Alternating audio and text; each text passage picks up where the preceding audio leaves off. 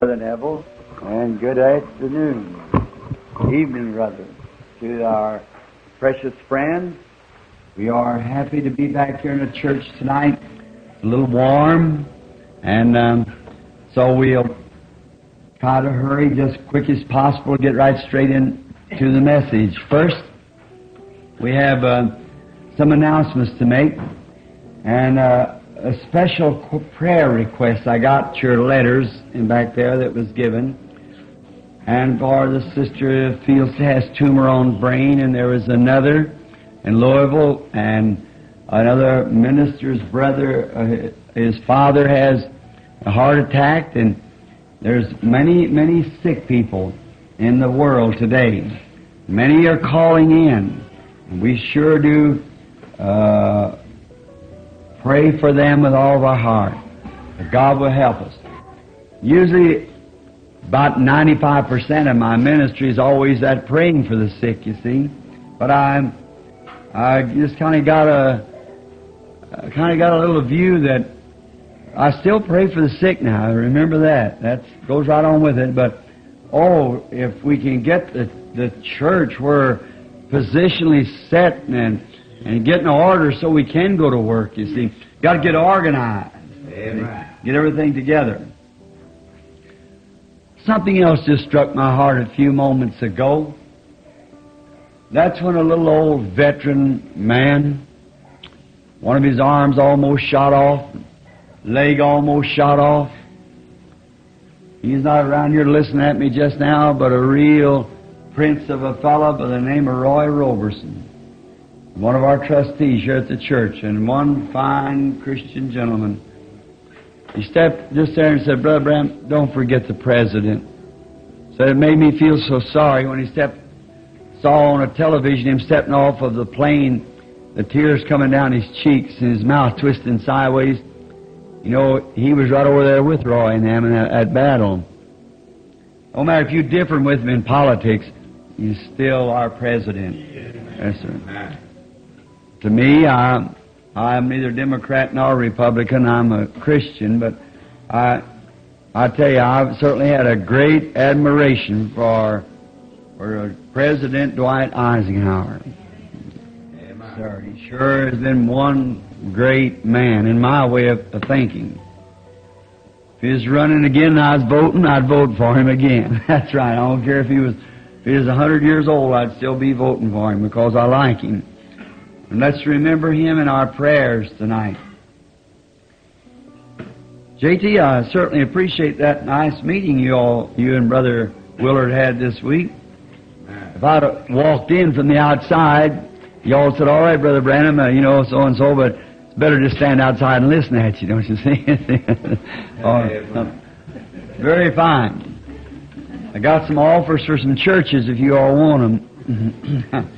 If you're ready to go to pastor now, if you got your training, and which I believe you have, and got all settled down, I got one in Oregon, some in Washington, California, and Arizona, different places. And if you want to ever take a church or anything, well, um, right here's a good place to start from. Right here. And there's souls crying everywhere, even to the Indian reservations and whatever you want to go to. Just let us know because I believe that you boys are anchored now. Amen. Right. I just love to see him do that. There's Brother Ruddell up there on the road. Going up to have a meeting for him a few days. Going to have a revival, Brother Ruddell is. And I, I remember I used to push that little fellow around everywhere trying to make him get out in the harness and preach. He was so backward. He said, I just can't talk. You ought to hear him. You don't know what you can do till you let the Holy Spirit get a hold of you. Amen. That's right. Brother Graham Snelling in Utica and Brother Junior Jackson down there. We, we consider all them our little sister churches right with us. We're all together. We don't disagree on our doctrines, our, our hopes, our aims, our doctrines are one. We stand together just everything together. We're just one church. And we'd sure like to have them scattered throughout. We got some in Africa, some in India, and all around over the country. That's where we want them. Yes. Scatter the news. And I see these young fellows coming on, like Brother uh, J.T. Parnell here and, and Brother Willard And then when they're coming on, young fellows, when I'm getting older, if there is a tomorrow, they'll be that man of tomorrow. I don't want this message to never die. Amen. It just can't. It must live on. And I don't believe we got too much longer to bring it.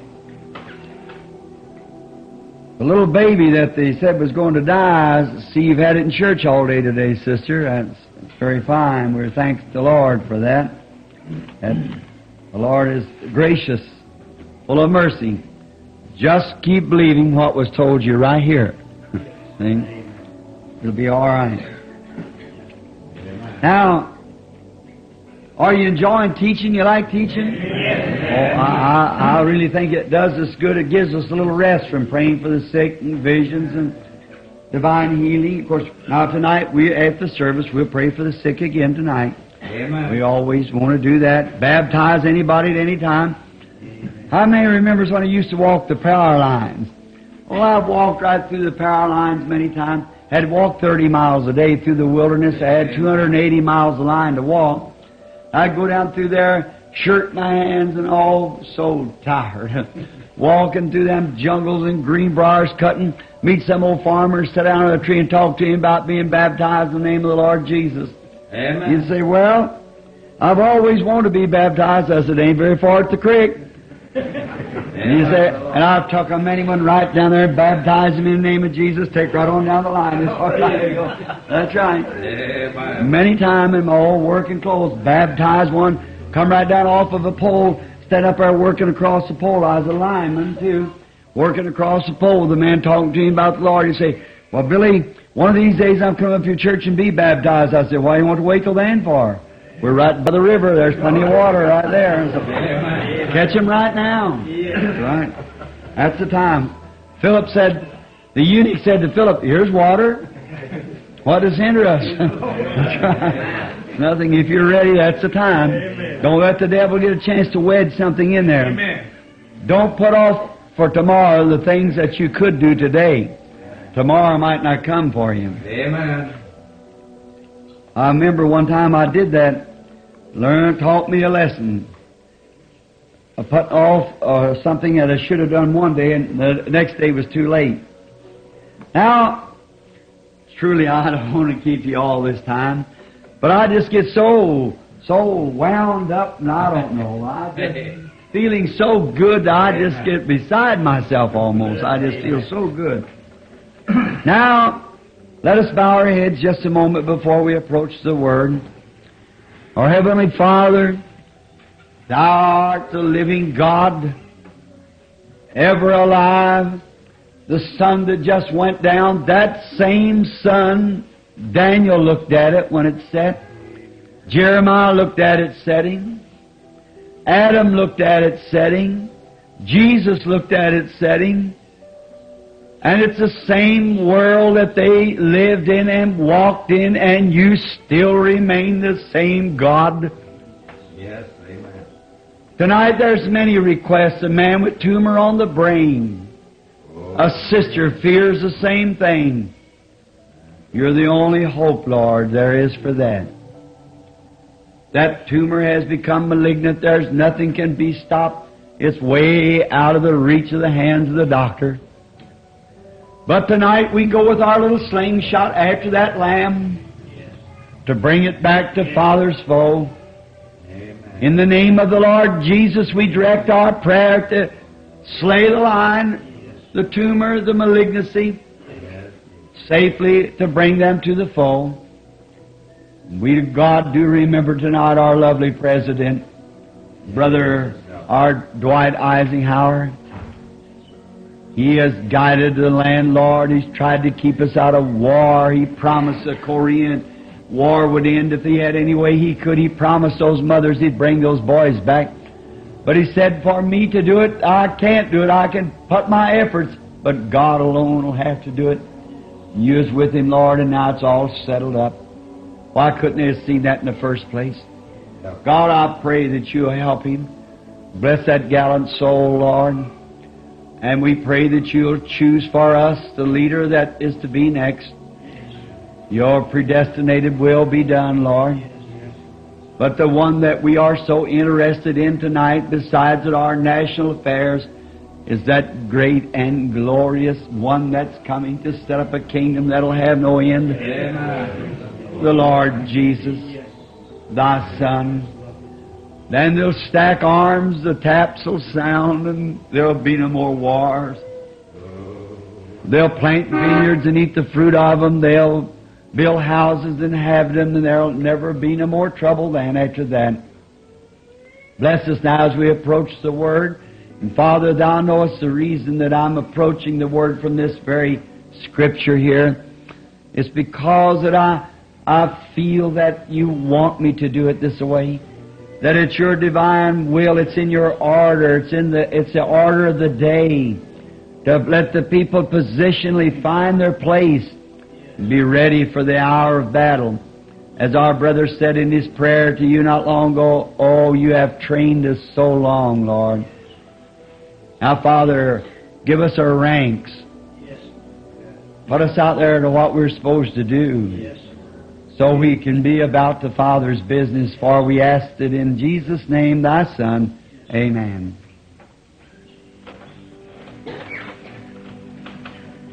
Had rather a wonderful afternoon this afternoon talking to a famous doctor in Louisville, his nurse. She heard about the glorious things of the Lord, and her father is a doctor. And she came over and sat in my room most of the afternoon, just come in, dropped in. Wonderful person. Rather a little hard, you know, kind of a staunch, real Presbyterian to start with, but left with tears running down her cheeks. Amen. Oh, uh, God's got them just sticking everywhere. In doctors' offices and nurses. I don't believe there's a nurse in Norton's Infirmary Hospital that I didn't testify to about having the Holy Ghost and asked her if she was baptized in the name of Jesus. Amen. Not a doctor that I come in contact with anywhere, nothing.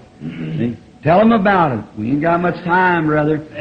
No matter how hard it seems, sure, just wait till you cross that last breath yonder and see. Then you wish you had done it. Yes, sir. Don't wait till that time. Let's do it right now.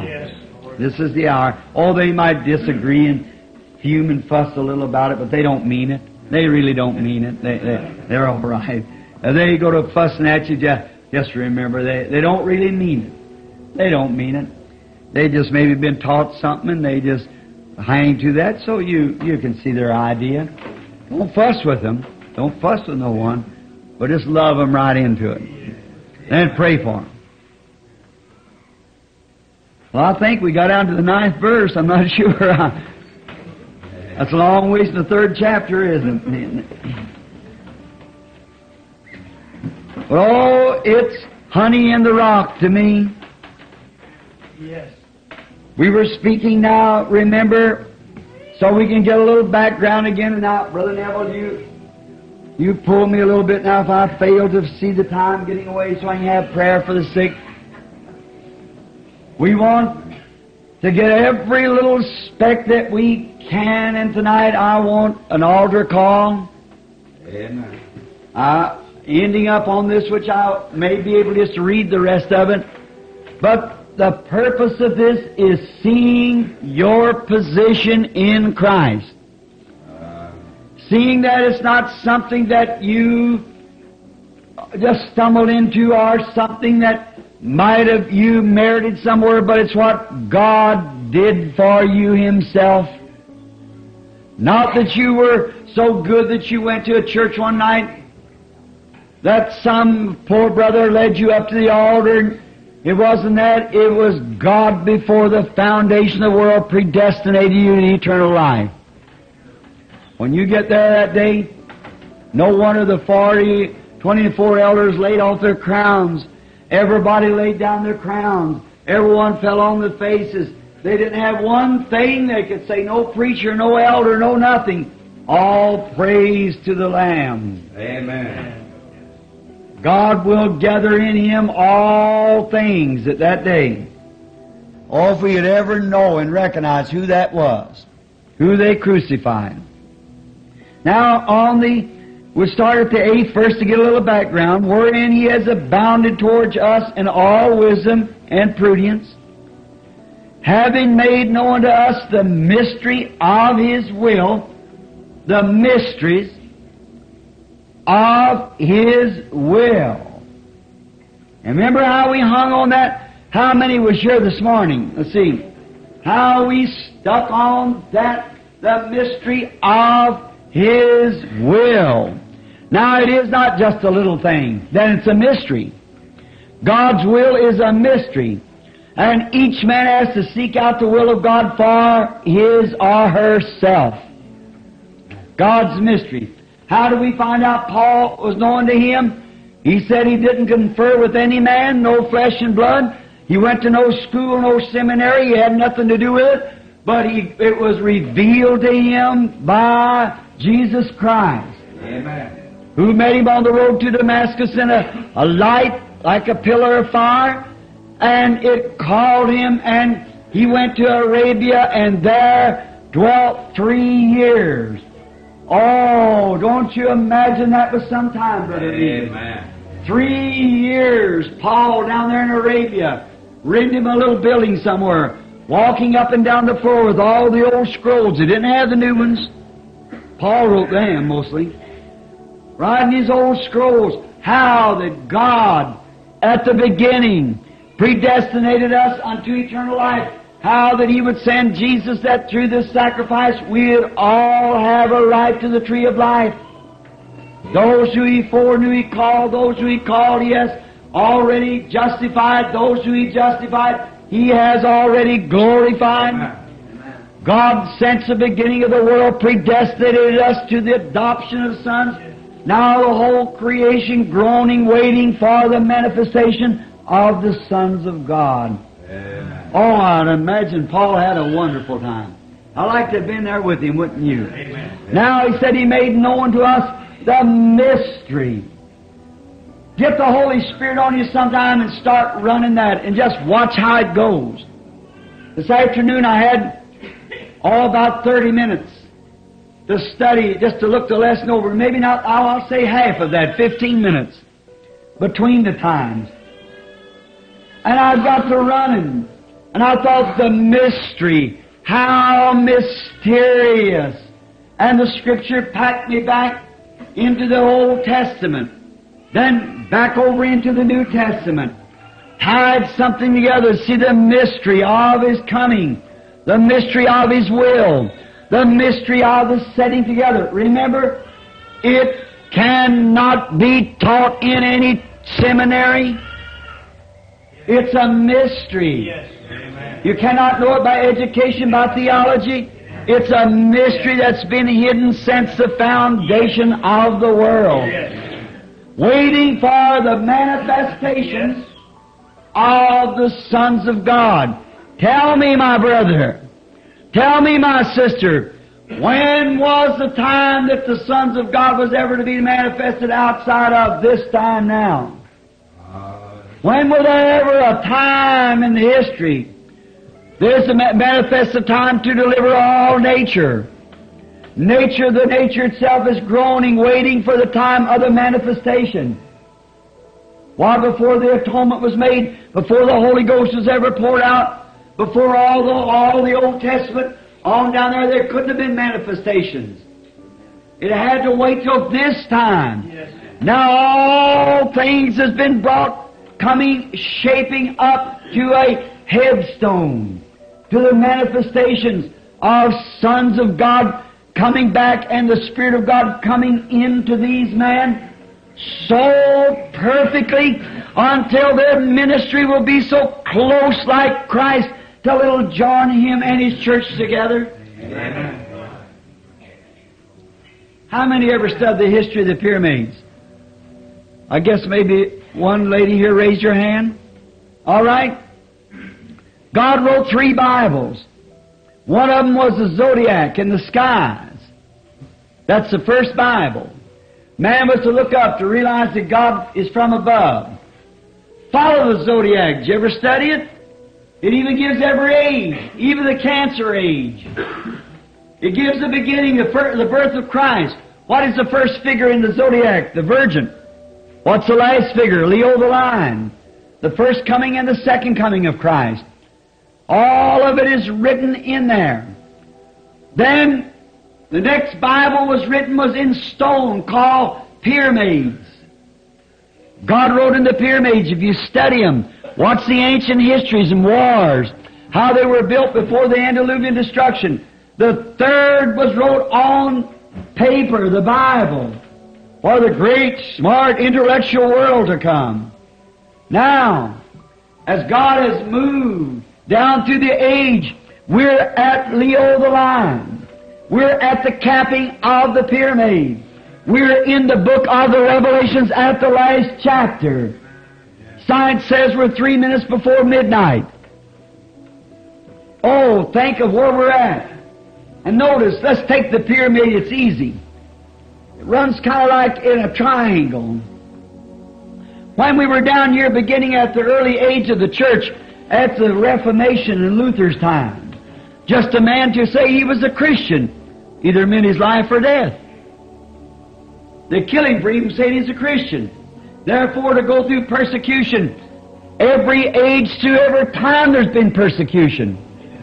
All that live godly in Christ Jesus shall suffer persecution. In the age of Luther, it was horrible to say a Lutheran. He was considered a fanatic and could be put to death. Many times they've killed him at stakes, burned him, and everything else for Lutherans. Then the church narrowed as like the pyramid. It come into another step of grace, which was sanctification. Wesley's time when he protested the Anglican church, taught sanctification. It come into the minority again. Then they were called a bunch of fanatics. How many here was Methodist or used to be or was once connected with the Methodist Church? Half of you. Did you know the Methodist Church al- almost had the Holy Ghost one time? Amen. I went to Methodist churches and see them fall on the floor and throw water in their face and fan them with a fan, keep the Holy Ghost from coming on them. That's right. Now that's the truth. Down the hills of Kentucky where we had Methodists, you guys are church joiners, I hear. We had Methodists back there and Baptists. We got out the altar and beat one another in the back till we got something. We come through. We live different after that. But you just come up, put your name on the book and say, I'm a Methodist, and get the salt shaker and sprinkle a little water on you, and that's all of it. Go on out, wear shorts, makeup, run the horse races, bet, gamble, play slot machines, and everything else. Still good Methodist.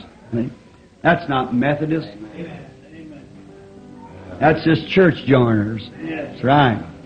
Baptist the same way, Presbyterian, on down the same way David du Plessis said grandchildren. God don't have any grandchildren. God never had a grandchild. He's got sons, but no grandsons. right. You and people that come into the Methodist church or Pentecostal church or Baptist church because your mother or father was Pentecostal or Baptist and you're grandson. They were sons. You're grandson. So God don't have anything like that. The church has a lot of that, but not but not the not the not the, God doesn't. Now notice these. On down to it comes down now as it becomes to the minority, the church. The Pentecostal age come in. That certainly cut off a lot of bumps. Then it, what did it do? It just left the Methodist and Lutheran all behind. Now the Holy Spirit's moved right on away from the Pentecostal age. What did they do? They organized. Made themselves, we are the assemblies of God. We are the oneness. We are the two-ness. We are the church of God. We are the this or that. You don't belong. You can't get into heaven unless you got your name on our book. Oh, such nonsense. I don't care if you're Baptist, Methodist, Presbyterian. You put your name on the book of life when God puts it on there. If you were predestinated to eternal life, God will call you some way, somehow, some, some way or other. He sure will. All the Father has given me will come to me. No matter what church you belong to, that has nothing to do with it. But the denomination will never do one thing to you, but might hinder you a lot from going on with God, but it'll, it'll never do nothing else. That's right. Congregates you together with a bunch of believers and unbelievers. Of course, you hit that everywhere you go. They even had that in heaven. So, it's all right. But you're looking to your denomination. Look to Jesus. Amen. He's the one to look to. Now, as we're coming right down to the, how many, I believe this woman here raised her hand that she'd study the pyramids. You know the pyramid never was capped, was it? Never did have a capstone put on it. They never couldn't even find it. I don't know whatever happened to it. Why? Why was the capstone put on it, the headstone, the top of it? Because he was rejected when he come. He was a rejected stone. That's right. But it will be capped. That's right. And then those stones that fit around that headstone will have to be stones that'll be so completely like that stone that'll fit it joint and every everywhere. The pyramid is so perfect you can't run a razor blade between them where them stones go together. Such beautiful masonry. Some of them would weigh hundreds of tons up in the air and so perfectly set together. That's why God's bringing His church. Yes. We're fitly joined together. Amen. One heart and one accord. Now somebody say, well, the Lutherans back there had nothing. Don't you believe it? The Lutherans will come forth in the resurrection just the same as the rest will come forth in the resurrection. Baptists, Presbyterians, and all of God's children will come forth in that resurrection. And that's the reason today people say, oh, well, there'll be a sweeping revival that'll go out here and save a hundred million Pentecostals will all get saved and that'll be the rapture. You're mistaken. That rapture will be hundreds of thousands, that's right, but there'll be a made up in 6,000 years of salvation, too. 6,000 years back. Man walks in the light as the light comes to him. He crosses the bridges when he comes to them. Now, if he refuses it, then he's left in darkness. But if he keeps moving on. Now, notice, then the coming of the Lord Jesus is so close at hand until the Spirit from way down in here, just barely justification, sanctification, baptism of the Holy Spirit, and now right into the time of the coming of the headstone. The church has got to be so perfectly like Christ until Christ and the church can unite together. Amen. The same Spirit. And if the Spirit of Christ is in you, it makes you live the life of Christ, act the life of Christ, do the works of Christ. He that believeth on me, the works that I do, shall he do also. Jesus said that. See? Now we're going to have, we got a ministry coming, it's just exactly like the life of Christ. Amen. What does that ministry identify? The coming of the Lord. Look at it in the world today. Watch what Khrushchev's saying and all these other great things and great worldwide conflict right at hand at any time. Could it go to power at any second. That's right. And if that, we know that that's closed. Any sensible person can read in a newspaper or listen to a radio or know that that is closed. Well, remember, Christ comes for His church before that happens. Amen. So how close is the coming of the Lord Jesus? Maybe before this meeting ends tonight. We are at the end time. Certainly true. What's the church? As it's come, has it moved? Just take it in your own mind, you historians that studies history. Look at the Lutheran Church under justification, coming just from, freshly from Catholicism. Look at it moving. Now look at Wesley coming a little closer in the sanctification, weaving into the Scriptures. Look at right in between the Wesley. Then the next thing come in was the Pentecostal age. And the Pentecostal age with the restoration of the gifts, the spiritual gifts. Now look at the age coming now right up to the headstone. Amen. See what I mean? The coming of the Lord. The making known God and all creations is waiting for the church to positionally find its place. Trouble day, I, pretty everyone I met, I was rolled out, was taken, I have to have a physical examination, you know, for going overseas. You missionaries and so forth know that. And when I was taking the examination, they brought me out of the room there, been drinking that old, looked to me like dough meal or something, and I, I'd been drinking it and come out there, sit down, wait for a half hour to see what went out of my stomach or not. I look across there and there's some little woman, looked like she's just about to die. She's so little legs and little arms and I kept moving down from this man to that man. this man to that man, getting closer to her till I got down to where she was. She looked like poor little thing is about to die. Now I got her closer. I said, "Pardon me, madam." She said, "How do you do?" Oh, she was so sick. And I said, "What's wrong?" She said, "I went to Tucson to visit my daughter. I got sick. They can't find what's the right way." I said, "One thing I want to ask you." I said, "I'm a gospel preacher. Are you a Christian?" Are you ready to go if that hour shall come? And she said, I belong to such and such a church. I said, that wasn't the question I asked you. Are you a Christian filled with God's Spirit and ready to go when He calls you? The woman didn't even know what I was talking about. See? Oh, what a pitiful sight the world is in. Now, make known unto us the mysteries of His will, the coming of. Let me read you something.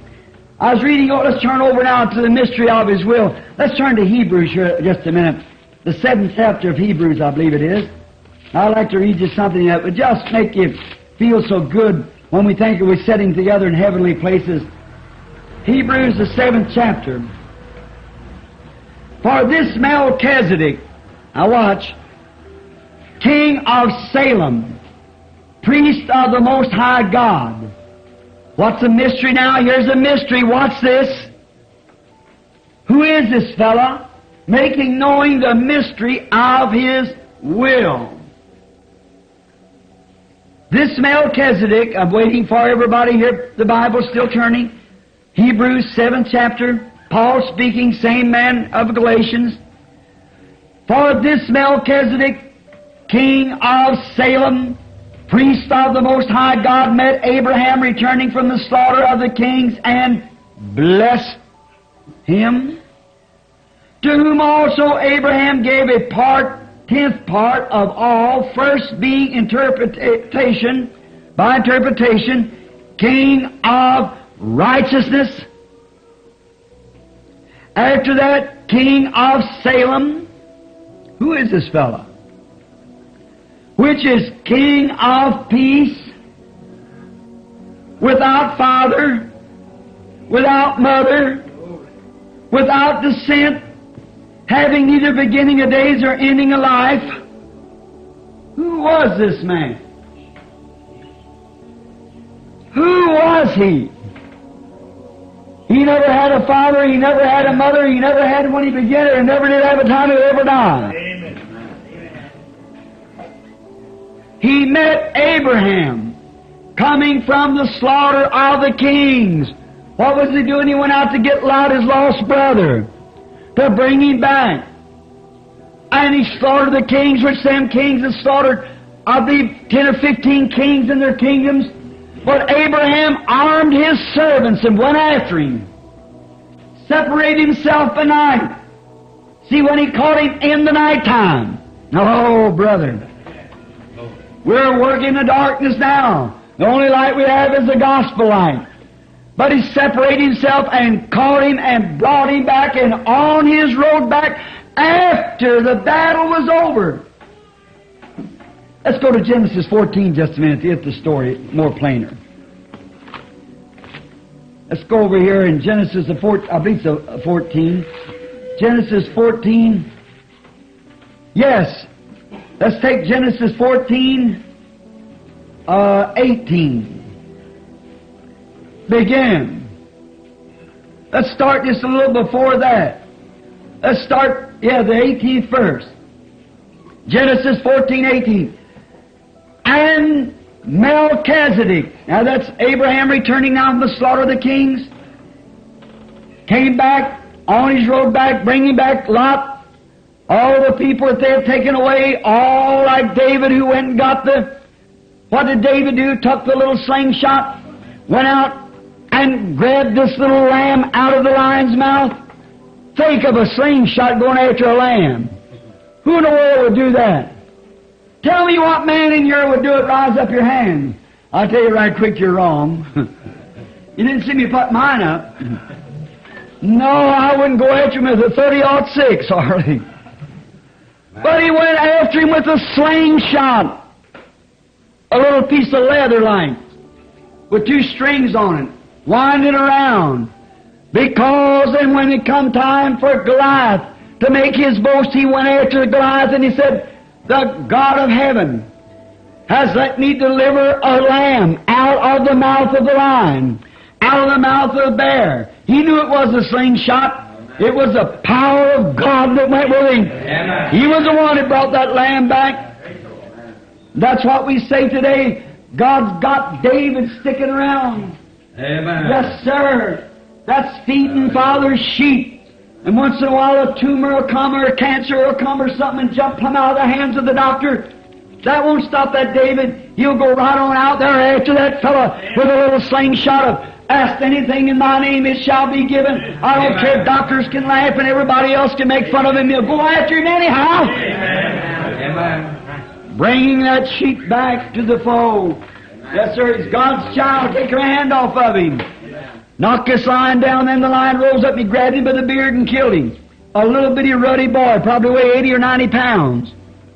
Now Watch. Melchizedek, the king of Salem, which is king of peace, which actually Salem lays across the hill. It's the king of Jerusalem who it was. Yeah. That's exactly who it was, king of Jerusalem. Which Jerusalem was first called Salem, which was peace. That was Jerusalem first before it was called Jerusalem. He was the king of Jerusalem. He was the king of righteousness, the king of peace, the king of Salem. He had no father. He had no mother. He had no beginning of days. He had no ending of life. He had no consent. Hallelujah. Who is this fellow? Watch him. After the battle was over, after the victory was won, watch what he said. And Melchizedek, 18th verse, 14th chapter, Genesis. And Melchizedek, king of Salem, brought forth bread and wine. And he was the priest of the Most High God. And he blessed him and said, Blessed be Abram of the Most High God, possessor of heavens and earth. And blessed be the Most High God, which has delivered thine enemies into thy hand. And he gave him a tenth of all. Let's read a little farther. And the king of Sodom said unto Abraham, Give me the persons and take the goods for thyself. And Abram said unto the king of Sodom, I have lifted up mine hand unto the Lord, the Most High God, the possessor of heavens and earth. Listen how he abbreviated that. Mm. How he gave it to him. That I will not take from a thread even to a shoe latch. And that I will not take anything, not anything that uh, may say, uh, uh, that of thine, lest thou should say, I made Abram rich, save only that which the young man eat. Notice, this Melchizedek, as soon as he met Abraham coming from the slaughter of the kings, the mystery of God now being made known, who was he? Nobody, they can't find any history of him because he didn't have any father. He didn't have any mother. He never had any time he began. He never had any time he'd ever die. Amen. So ever who he was is still alive. He never did have a beginning. So he couldn't have been nobody else but El, Elo, Elohim, self-existent, self-abiding, Almighty God. Jesus had a father. Jesus had a mother. Jesus had a beginning of days. Jesus had an ending of earthly life. But this man had neither father nor mother. Amen. Amen. No father nor mother. Jesus had both father and mother. This man had neither father nor mother. Amen. And what did he do? After the battle was over, after Abraham had took his position, after the church takes its position, we're called to the adoption of sons Oh, amen. by the Holy Spirit. And when each man takes his position, what God has called him to do, and stand to the end of the road. Amen. Going after the lost. First, Paul takes all the scare out of it, so now if you're called, if you're not just worked up in your mind by some kind of theology, if you're really born of the Spirit, then God predestinated you before the foundation of the world, put your name on the Lamb's Book of Life, and now we come together to set in heavenly places in Christ Jesus, a holy people, a holy nation, a peculiar people, royal priesthood, offering spiritual sacrifices unto God, that is the fruits of our lips, giving praise to His name. People come in and say, that people are crazy. Sure they are. The wisdom of God is foolish to man, and the wisdom of man is foolish to God. The contrary one to the other. What a real spirit-filled church full of power of God, setting together in heavenly places, offering spiritual sacrifices, praises of God, the Holy Spirit moving among them, discerning sin and calling out the things that's among them that's wrong, straightening out, making the plan level. Because why? Always in the presence of God is that bloody sacrifice. Amen. I remember we went through it this morning. You wasn't saved by the blood. You're kept saved by the blood. But you were saved by grace through faith, believing it. God knocked at your heart because He predestinated you. You looked up and believed it, accepted it. Now the blood makes an atonement for your sins. Remember, I said God does not condemn a sinner for sinning. He's a sinner to begin with. He condemns a Christian for sinning, and then because he has condemned in Christ, took our condemnation. So there's no condemnation to them which are in Christ Jesus that walk not after the flesh but after the Spirit. Amen. And if you do anything wrong, it isn't willfully. You don't sin willfully. A man that sins willfully goes out willfully. Sin's never come into that body yet. But a man that's once in there, he's dead and his life is hid in God through Christ, sealed by the Holy Ghost, and the devil can't even find him. He's so far back in there. He'll have to come out there before the devil can ever get him. For you are dead. Tell a dead man he's a hypocrite and see what happens. Kick him on the side and say, You old hypocrite, you, he'll not say a word. And that's right, he'll just lay there. And a man that's dead in Christ, you can call him hypocrite, call him anything you want to, he'll never rise up about it. If anything, you slip off somewhere and pray for you. That's right. But oh, some of them's very much alive. That's what I think about. We're supposed to bury dead people. Them that's dead in Christ, we bury them in water. Sometimes we bury too many people that's alive. Too much malice and strife, and it's too much in the church. Help us, Jesus. But we can't separate that, but God does. He knows His people. He knows His sheep. He knows every voice. He knows His children. He knows who He can call out. He knows who He's predestinated. Amen. He knows who He's given these Yeah. things to. What He's making Himself known through. How He God can put confidence in His children on what to do, knowing that they will do it exactly. You believe God does that? Why, Satan said to to Job one day, said to God one day, Yeah, you got a servant. God said there's none in the earth like him. He's a perfect man. Amen.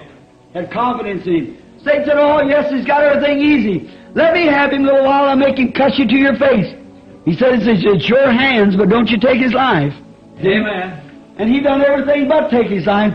But old Job, instead of, what did he do?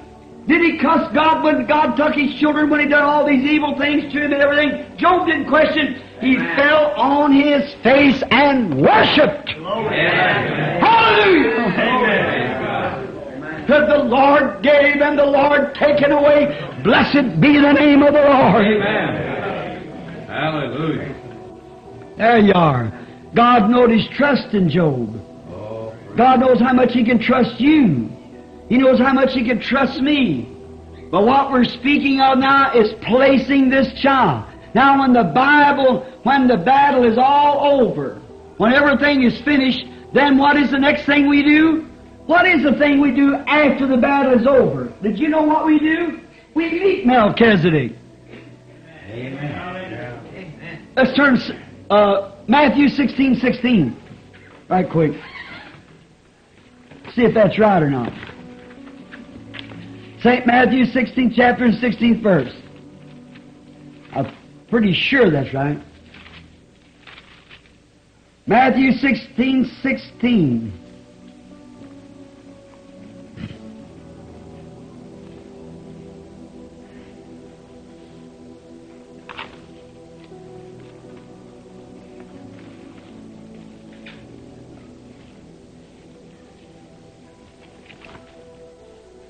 Matthew 6, no, that's wrong. Couldn't be that close. 26, 26. Oh, 16 here is talking to Simon Peter. Pardon me, I didn't mean to say that. 26, 26. Because it's just Last Supper, that's what I'm, I'm trying to get to. Matthew, the 26th chapter, and the 26th verse. Now we are, here we are. At the Last Supper. And as they were eating, Jesus took bread and blessed it, and brake it and gave it to his disciples, and said, Take and eat, this is my body. And he took the cup and gave thanks, and gave it to them, saying, Drink ye all of it, for this is my blood of the New Testament, for which is shed for many for the remission of sins. S I N S sins. Christians who does things wrong. All right. But, but listen, 29th verse. I say unto you, I will not drink henceforth of the fruit of the vine until that day when I drink it anew with you in my Father's kingdom. Hallelujah. What? The same thing Melchizedek did after Abraham had got his position, set his men in order, and won the battle, and he Amen. come home, and Melchizedek come out with bread and wine. Oh, amen. Praise the Lord. After the battle's over, then we'll eat the wedding supper with the Lord Jesus in the new world. Oh, blessed be the name of the Lord. All right. The mysteries of His will according to His good pleasure. Back over now again in Ephesians 9. Which He has purposed in Himself. That in the dispensation of the fullness of time. And remember that we just passed over it. Ephesians, first chapter, tenth verse. That in the dispensation of the fullness of time. Now we learn that the fullness of time is waiting for what? The fullness of all time. The time that when sin will cease. The time when death will cease. The time when sickness will cease. The time when sin will cease. The time when all of the perversion, that perverted things that the devil has perverted will cease. When time itself shall cease. Watch that in the dispensation of the fullness of time that he might gather in one all things in Christ, both which are in heaven and which are on the earth, even in him, gather all things through Christ. As I said this morning, all the little nuggets that we find, these great little things, you can polish them in Genesis, you can polish them in Exodus, you can polish them in Leviticus, and bring them through and in Revelations, they'll end up being Jesus. You take Joseph, you take Abraham, you take Isaac, you take Jacob, you take David, you take any of those nuggets, those men of God, and see if you don't see Jesus Christ displayed in each one of them. That he might gather all things into one Christ Jesus. Now, a little farther now. Now the 11th verse. In whom also we have obtained an inheritance. Oh, an inheritance. Somebody has to leave you something to inherit it, is that right? Amen. An inheritance. What inheritance do we have? What inheritance did I have? I didn't have any. But God left me an inheritance. When He put my name on the Lamb's Book of Life before the foundation of the world. Oh, you say, now wait a minute, brother. Jesus did that when He died for you. No, He never. Jesus come to purchase that inheritance for me. Read the very next, very next line. In whom we also have obtained parent, obtained an inheritance, being predestinated according to the purpose of Him who worketh all things after the counsel of His own good will. God, before the foundation of the world, as we've took it down through the lesson, you people, how we seen God was self-existence, how that in Him was love, in Him was to be God. There was nothing to worship Him. In Him was to be a Father. Was the- he was by Himself. In Him was to be a Savior, nothing lost. In Him was to be a healer. That's the attributes of Him. There was nothing there. So His own self, His own good counsel, produced these things. That He might, through this one man, Christ Jesus, gather all together again. Oh, Eye has not seen, ears not. No wonder it's a mysterious thing. Look, has predestinated us unto this inheritance. If I'm a right inheritance of something, if God is knocking at my heart and saying, William Branham, I called you a long time ago before the foundation of the world to preach the gospel. I have an inheritance. An inheritance of eternal life. Now, God sent Jesus to make that inheritance real to me because there was nothing I could do to, to inherit it. Amen. It was blank, it was valid. Amen. There's nothing I could do. But, in the fullness of time, God sent in His own good time, Jesus the Lamb, slain from the foundation of the world, His blood was shed that I might go to my inheritance. Amen. To be what? What inheritance? The sonship. To be a son of God. Amen. And now this may just choke you to death. But did you know that man that are sons of God are amateur gods? How many ever know that? How many knows that Jesus said so? Amen. The Bible, Jesus said, Did not your law say itself that you are gods? And if you call them gods, which God said in Genesis 2 that they were gods, because they were had full domain over the dominion of the world, He gave him dominion over all things, and he lost his godship, he lost his sonship, he lost his domain, and Satan took it over. But brother, Amen. we're waiting for the manifestations of the sons of God who will come back and take it over again. Amen. Amen. Waiting for the fullness of time. When the pyramid gets up to the top, when the full sons of God will be manifested, yes. when the power of God will walk out. Hallelujah. And will take every power that Satan's got away from him. Yes, sir. It belongs to him. He's the Logos that went out of God. That is true. That was the Son of God. Then he made man a little God. And he said, if they call those who the Word of God came to the prophets, if they call them gods, who the Word of God came to, and God said so himself that they were gods. He told Moses, I made you a God and made Aaron your prophet.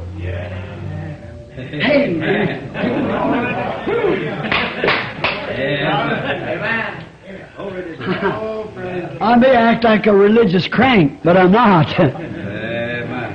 Oh, when your eyes can come open and see those things. All right, he made man a God. A God in his domain. And his domain goes from sea to sea, from shore to shore. Praise the Lord. He has the control of it. And when Jesus came, being the one God without sin, He proved it. When the winds blowed, He said, Peace, be still. Amen. Praise the Lord. And when the trees said, No man eat from thee, verily I say unto you, you that's little gods, if you'll say to this mountain, Be moved, and don't doubt in your heart, but believe that what you've said will come to pass, you can have what you've said. Amen. Right back to Genesis, to the original. What is it? Now the world and nature is groaning, crying. Everything's a moving what? For the manifestation of the sons of God. When true sons, born sons, filled sons, speaking the word is that. I believe we're on the border of it right now. Yes, sir. Amen. Say to this mountain, let it be so. Brother, I, I desire so and so a certain thing done. I'm a believer in Jesus Christ. I give it to you in the name of the Lord. Jesus. Amen. There's a manifestation. Yes. Oh, brother, my crops are burning up out there. I haven't had any rain. I'll send you a rain in the name of the Lord. Yes, you'll come. Oh, waiting, groaning, all nature. Waiting for the manifestations of the sons of God. God ordained it at the beginning. He gave man the domain. He gave Jesus Christ and Jesus gave it as his name with this assurance. Ask the Father anything in my name and I'll do it. Amen. All. Oh, brother Palmer. Waiting for the manifestations of the sons of God. The position, the church, as I said, the book of Ephesians is the book of Joshua. Is Joshua placing the people where they belong? Now, if they wouldn't stand still and they put Ephraim here and Manasseh's land and this would come back and fussing and stewing, how are they ever going to get along? When one said, I'm a Baptist, I'm a Methodist, I'm a Pentecostal, I'm one this, I'm two this, I'm that, so, how are you going to do it? Stand still! God's wanting to place His church.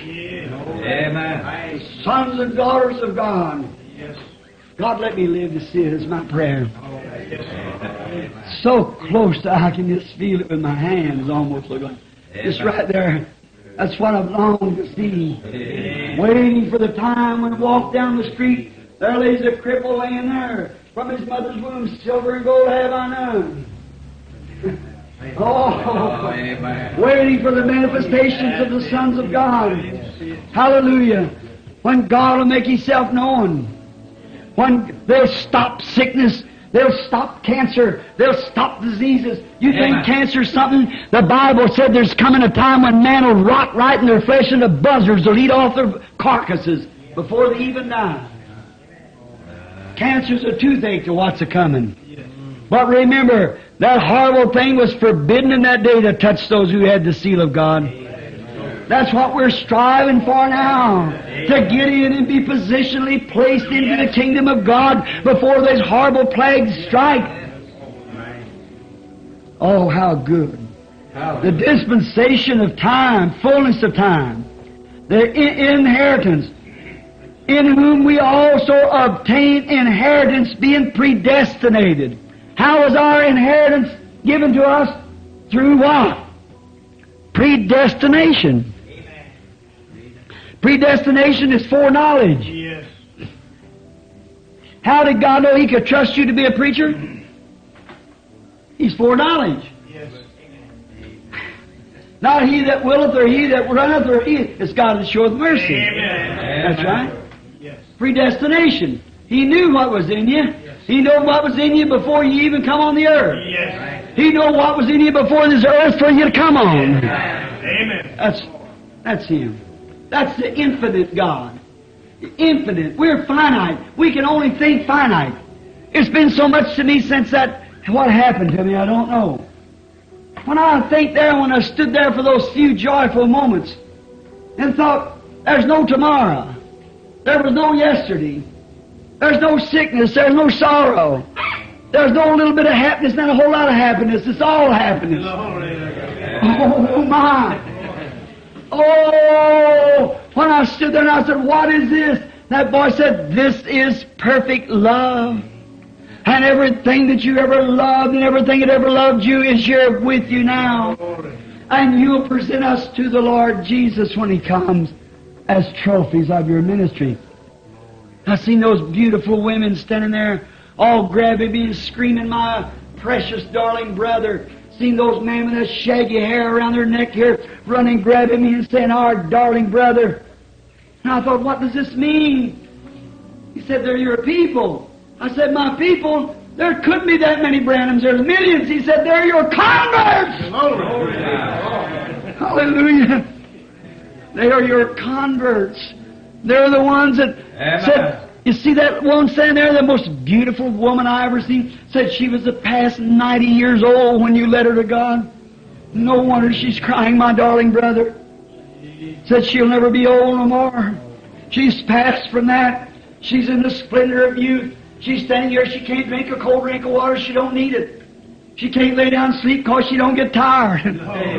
There's no tomorrow, no yesterday, no nothing. We're in eternity now. But some glorious day the Son of God shall come, and you will be judged according to the word that you preach to them. Yes. Oh, brother. I said, will Paul have to bring his group? Yes, sir. I said, I preached it just exactly like Paul said it. I never divvied, I never tuck into any church creeds or anything else. I stayed the same and all of them scream with one accord, we know that. We're resting with assurance. Said you will present us to him, and then we'll all go back to earth again to live forever. Oh my. Just then I started coming to, I look laying there on the bed and I see my old carcass here getting old and wrinkled and drawn up and, and diseased up and afflicted and I see my hands behind my head and I thought, oh, will I have to go back in that thing again? And I kept hearing that voice, keep pressing on, keep pressing on. I said, Lord, I've always believed knew, Amen. I'll keep believing it, but I'll press for them souls, so help me. I'll have so many there. I'll, let me live, Lord, and I'll put another million in there if you say to live. I don't care what color, what creed, what nationality, what they are, they're all one when they get there. And those boundary lines has passed away. Amen. Oh, I could see those women. So pretty. Never seen went long, long hair way down their back, long skirts way down his barefooted. See that man with shaggy hair around their neck, red heads, black heads, and all different colors. And they were throwing their arms around me. I could feel them. I felt their hands God is my judge in this sacred book open. I could feel them just the same as I feel my hands on my face. They were throwing their arms around me. No sensation of women like would be now. I don't care how holy you are, who you are, what kind of a preacher you are, priest or whatever you might be. There's no man can let a woman throw his arms around without having any human sensations. That's exactly the truth. But brother, when you pass between here and yonder, it ain't that way there. Oh my! It's so oh, there's it's impossible. It's all love. Everything is real, brother, and everything's real, sister. There's no death, no sorrow, no jealousy, no nothing. Nothing can enter there. It's just perfection. That's what I'm striving for. That's what I'm placing for. I said, Oh Lord, that's what I'm here at the church for. Trying to set the church in order. Telling you, brother and sister, there's only one thing that can enter that. That's perfect love. Not because you're loyal to the Branham Tabernacle or the Methodist Church or Baptist Church. Them's all right, you should be. But old friends, you've got, not because you spoke with tongues, danced in the Spirit, because you cast out devils or moved mountains with faith. Yep. That all's all right for, that's all right, but still, unless that real perfect love is in there. That was where perfect love was. And that's the only thing that'll let you in there. That's the only thing that can stay there. It's the only thing there was there. Oh my. It's an adoption. God before the foundation of the world. Now, let's hurry up. Let's get this one chapter through anyhow. If possible in the next ten minutes. To whom we also have obtained an inheritance. We inherit what? Eternal life. Being predestinated. How? Does everybody understand that? Did you call on God? No, God called on you. Some people say, oh, I just sought God and sought God. You did not. Amen. No man never sought God. It's God seeking man. Yes. Jesus said, No man can come to me except my Father draws him first. See? It's the nature of man to run from God. And you say, now, that, that's what bothers me, oh. To preach to you people, don't remain on in the same condition you've been going in. Change now. Hear me as a, I said, thus saith the Lord. Amen. I've never called myself this, I'm not. But you call me your prophet or a prophet. The world believes that, the world around. Millions and millions and millions of people. I spoke direct and indirect to 10 or, 10 or 12 million people or more. Directly speaking. I've seen tens of thousands of visions and signs and wonders, and not one of them have ever failed. And that's right. He's foretold me things that's never failed to happen just exactly. I bring any man to trial for that. That's right. I don't claim to be a prophet, but you listen to me. Thus saith the Lord. It'll take perfect love to put you in that place. For that's all there was there. No matter how many, how much religious demonstrations, how many good deeds you done or whatever you done, that won't count nothing on that day. It'll take perfect love, so whatever you do, you lay aside everything else until you are just so filled with the love of God that you can love those who hate you. I'm just, as I said this morning, I was made, my whole makeup is grace. A lot of people say, oh, you scratch my back, and I'll scratch yours. Well, you do something for me, and I'll do something for you. That's not grace. Grace is if your back is itching, I'll scratch it anyhow.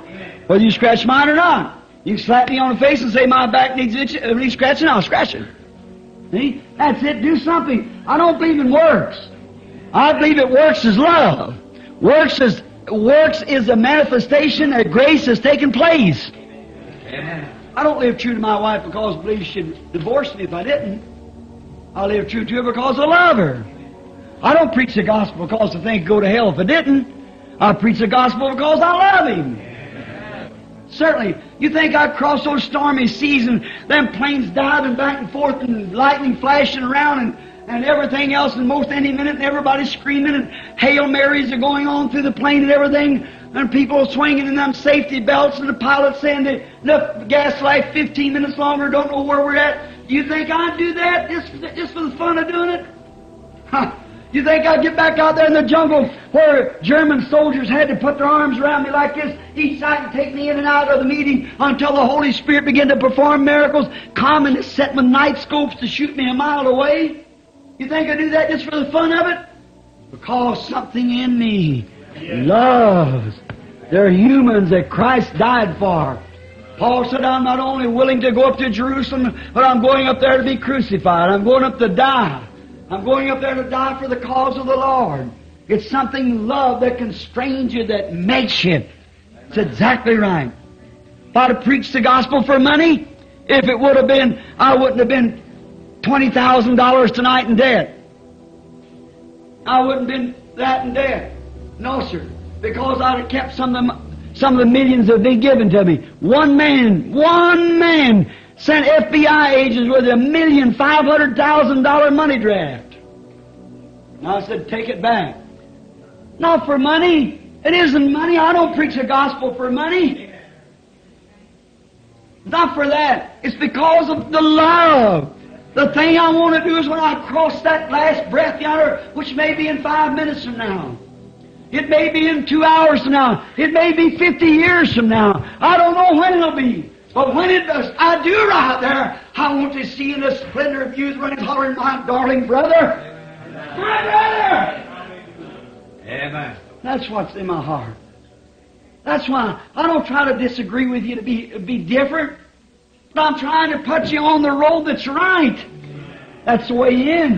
Not your church, not your denomination, but your birth in Christ. Oh, my.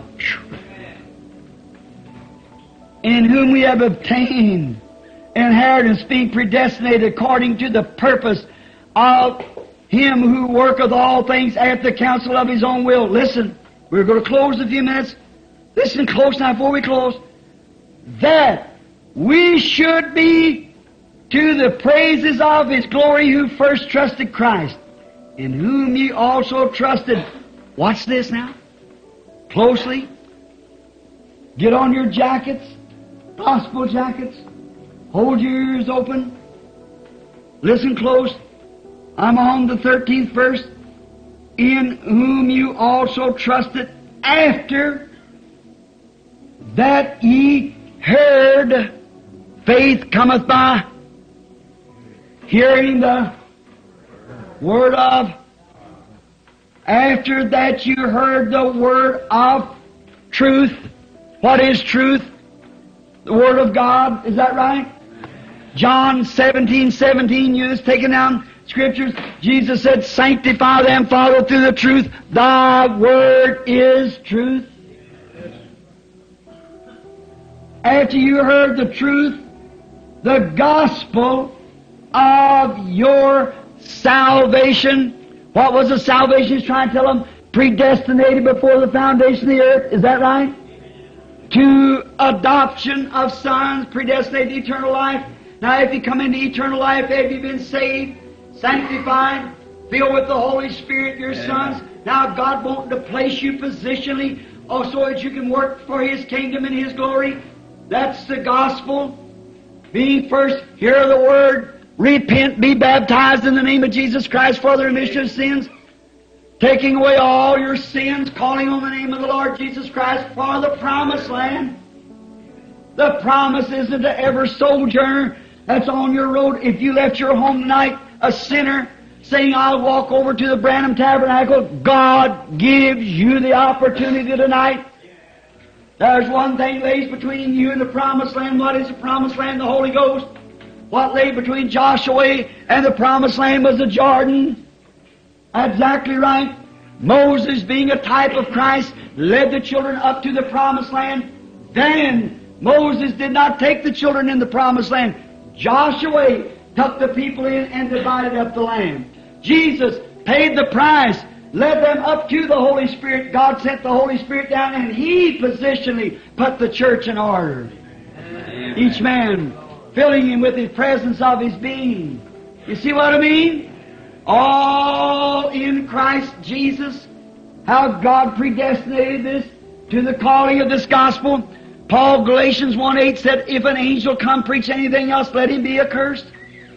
The truth, the gospel. Now listen close as we read on, finishing the verse. The gospel of your salvation, in whom also, listen closely, after that ye believed, ye were sealed with the Holy Spirit of promise. In the last days, the Bible said, now watch, in the last days there's going to be two classes of people. One of them's going to have the seal of God, the other the mark of the beast. Is that right? How many knows that? Well, if the seal of God is the seal of if the seal of God is the Holy Ghost, then without the Holy Ghost is the mark of the beast. And the Bible said that the two spirits would be so close together it would deceive the very elected if it was possible. It'll never do it because they were elected to eternal life. See? Church going, just as ordinary. Ten virgins went out to meet the Lord, all sanctified, all holy. Every one of them sanctified. Five were dilatory and let their lights go out. Five that had oil in their lamps. And behold, the bridegroom cometh, and the five that had oil in their lamps went into the wedding supper, and the others was left outside where they were weeping and wailing and gnashing of teeth. Be ready, for you don't know what minute the Lord comes. Have you, what is oil represented in the Bible? Holy Spirit. Now, do you hear Seventh day Adventist brethren who said the seventh day is God's seal? Produce one scripture to prove it. The Bible said that the seal of God is the Holy Ghost. What's this? Which, what's the 13th verse now? After that you believe you were sealed with the, with the Holy Spirit of promise. Turn to Ephesians 4.30, I believe that's it. See if we don't get 4.30 and see if this is the same. Ephesians, the fourth chapter and the 30th verse. Yeah, here it is. 4.30. and grieve not the Holy Spirit of God, whereby ye are sealed until the day of redemption. How long? When you re- really receive the Holy Ghost, how long is it to last you? Until the next revival? Until grandma crosses your path? Until the boss balls you out? Until the day of your. Hallelujah. After you have died, after you have passed into that land, that you're standing there with your loved ones, you are still filled with the Holy Ghost. Amen. Scripture, you're just as you are now. Only you've got you've moved into another body. You've just changed houses. This one got old. You couldn't tack the shingles on it no more. The rafters got rotten. That's right. So you just turned the old thing away and let it rot on down and moved into a new one. Is that right? For if this earthly tabernacle be dissolved, we have one waiting. Amen. You remember the other day going through that? When a little baby's being formed in the womb of the mother, this little muscles are kicking and jumping and going on. But just as soon as the mother drops the baby and the babies to earth, the first thing there is a spiritual body to catch that little natural body. Maybe the doctor give it a like that or something or shake it.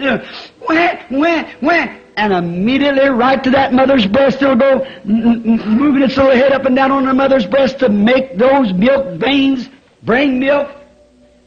Oh, a little calf, as soon as it's dropped from the mother, it'll get up on its little knees after a few minutes. What will it do? Move right straight back around, get a hold of that mother, begin to shake its little head up and down like that, and get its milk.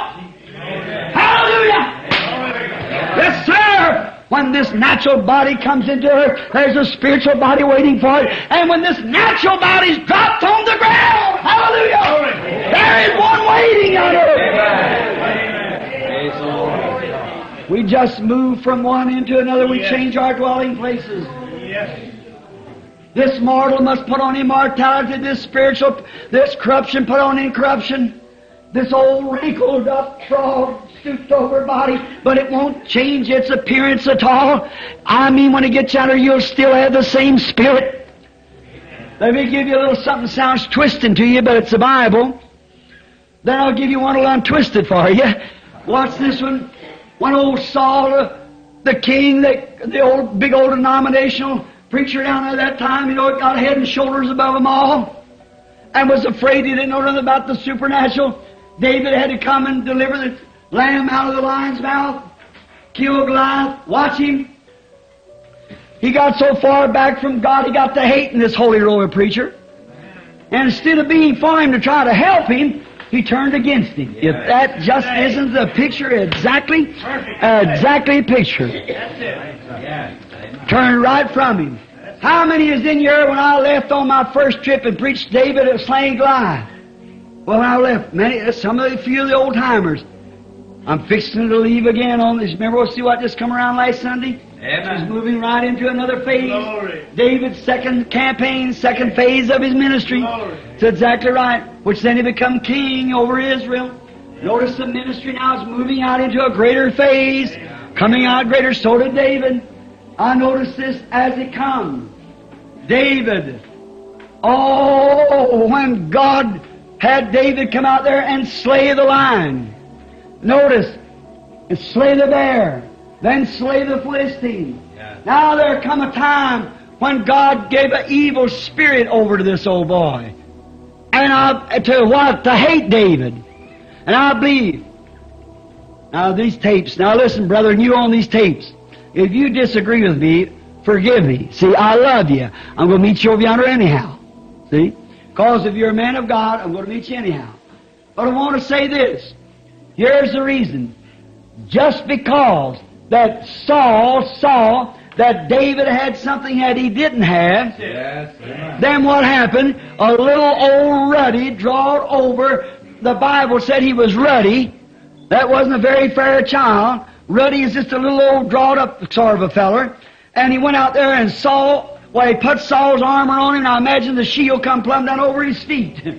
And he said, take this stuff off of me. I, I, maybe give him a doctor's degree, a PhD or LLD or something, you know. He said, I don't know nothing about that stuff because I haven't proved it. Let me have this what I know what I'm doing with. Yes, sir. He took the slingshot.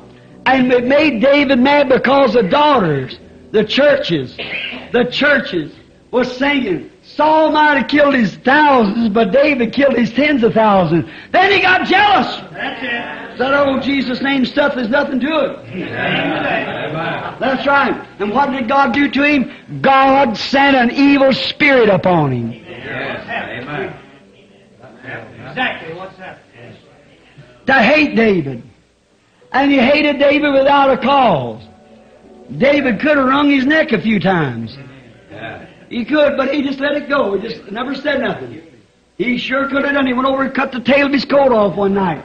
Come back and said, look here, you see? yes, sir, he could have done it, but he just let him alone.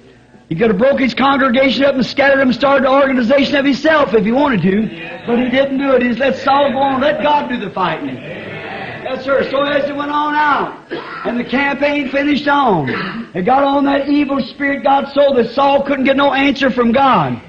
After a while, he, the Spirit of the Lord had departed from him, and old Samuel, the one that they turned down, the one that really was the voice of God to him, the one that said to him before they even wanted to act like the world, How does a church want to act like the world? Why does Pentecostal, baptized, Holy Ghost experienced Methodists and Baptists and Presbyterian want to act like the world? Why do they do it? I don't know. I, I, I just can't understand it. You say, well, uh, it's no fun to play poker, just a little bit for fun. Just a little penny ante or what you call it. It's a sin. Yes. You shouldn't have them things in your house. Well, it's no harm taking us a little bit of glass of beer. Uh, uh, we just got a few. Me and my wife has a few in the afternoon, and the first thing you know, your children's got a few. Yes. Sure it is. And you women. Mm. Devil's just made a, uh, that's what he did in the beginning, and he certainly has made a target out of you sisters. He just does that just because he knows what he can do. He can deceive a woman a thousand times quicker than a man. I know that hurts your feelings, but that's the truth. It's exactly. That's what he done in the Garden of Eden. He can make, now, she was honest, she was sincere, but she was deceived. Adam was not deceived, the Bible said. He wasn't deceived, but she was deceived. So he can deceive her. And yet, pastors will go right out and ordain women preachers, put them out over congregations like that, and this Bible condemns it from Genesis to Revelation. You say, well, it's all right. It's all right. They got they preach the same as that. I know that's right. Like somebody started speaking in tongues one time, I just kept on preaching. And uh, when I got outside, a woman said to my son, said, I've got a message to give tomorrow night. Said, well, your daddy comes on the platform. Said, well, a message, what do you mean? And that night when she got ready, when I was fixing to make the altar call, she fixed her hair all up and pulled up her stockings and everything, got ready, jumped up middle of the floor, to jump up and down, spoke in tongues and prophesied. I just kept on preaching. Make my altar call. Well, I never re- respected it, but it wasn't right.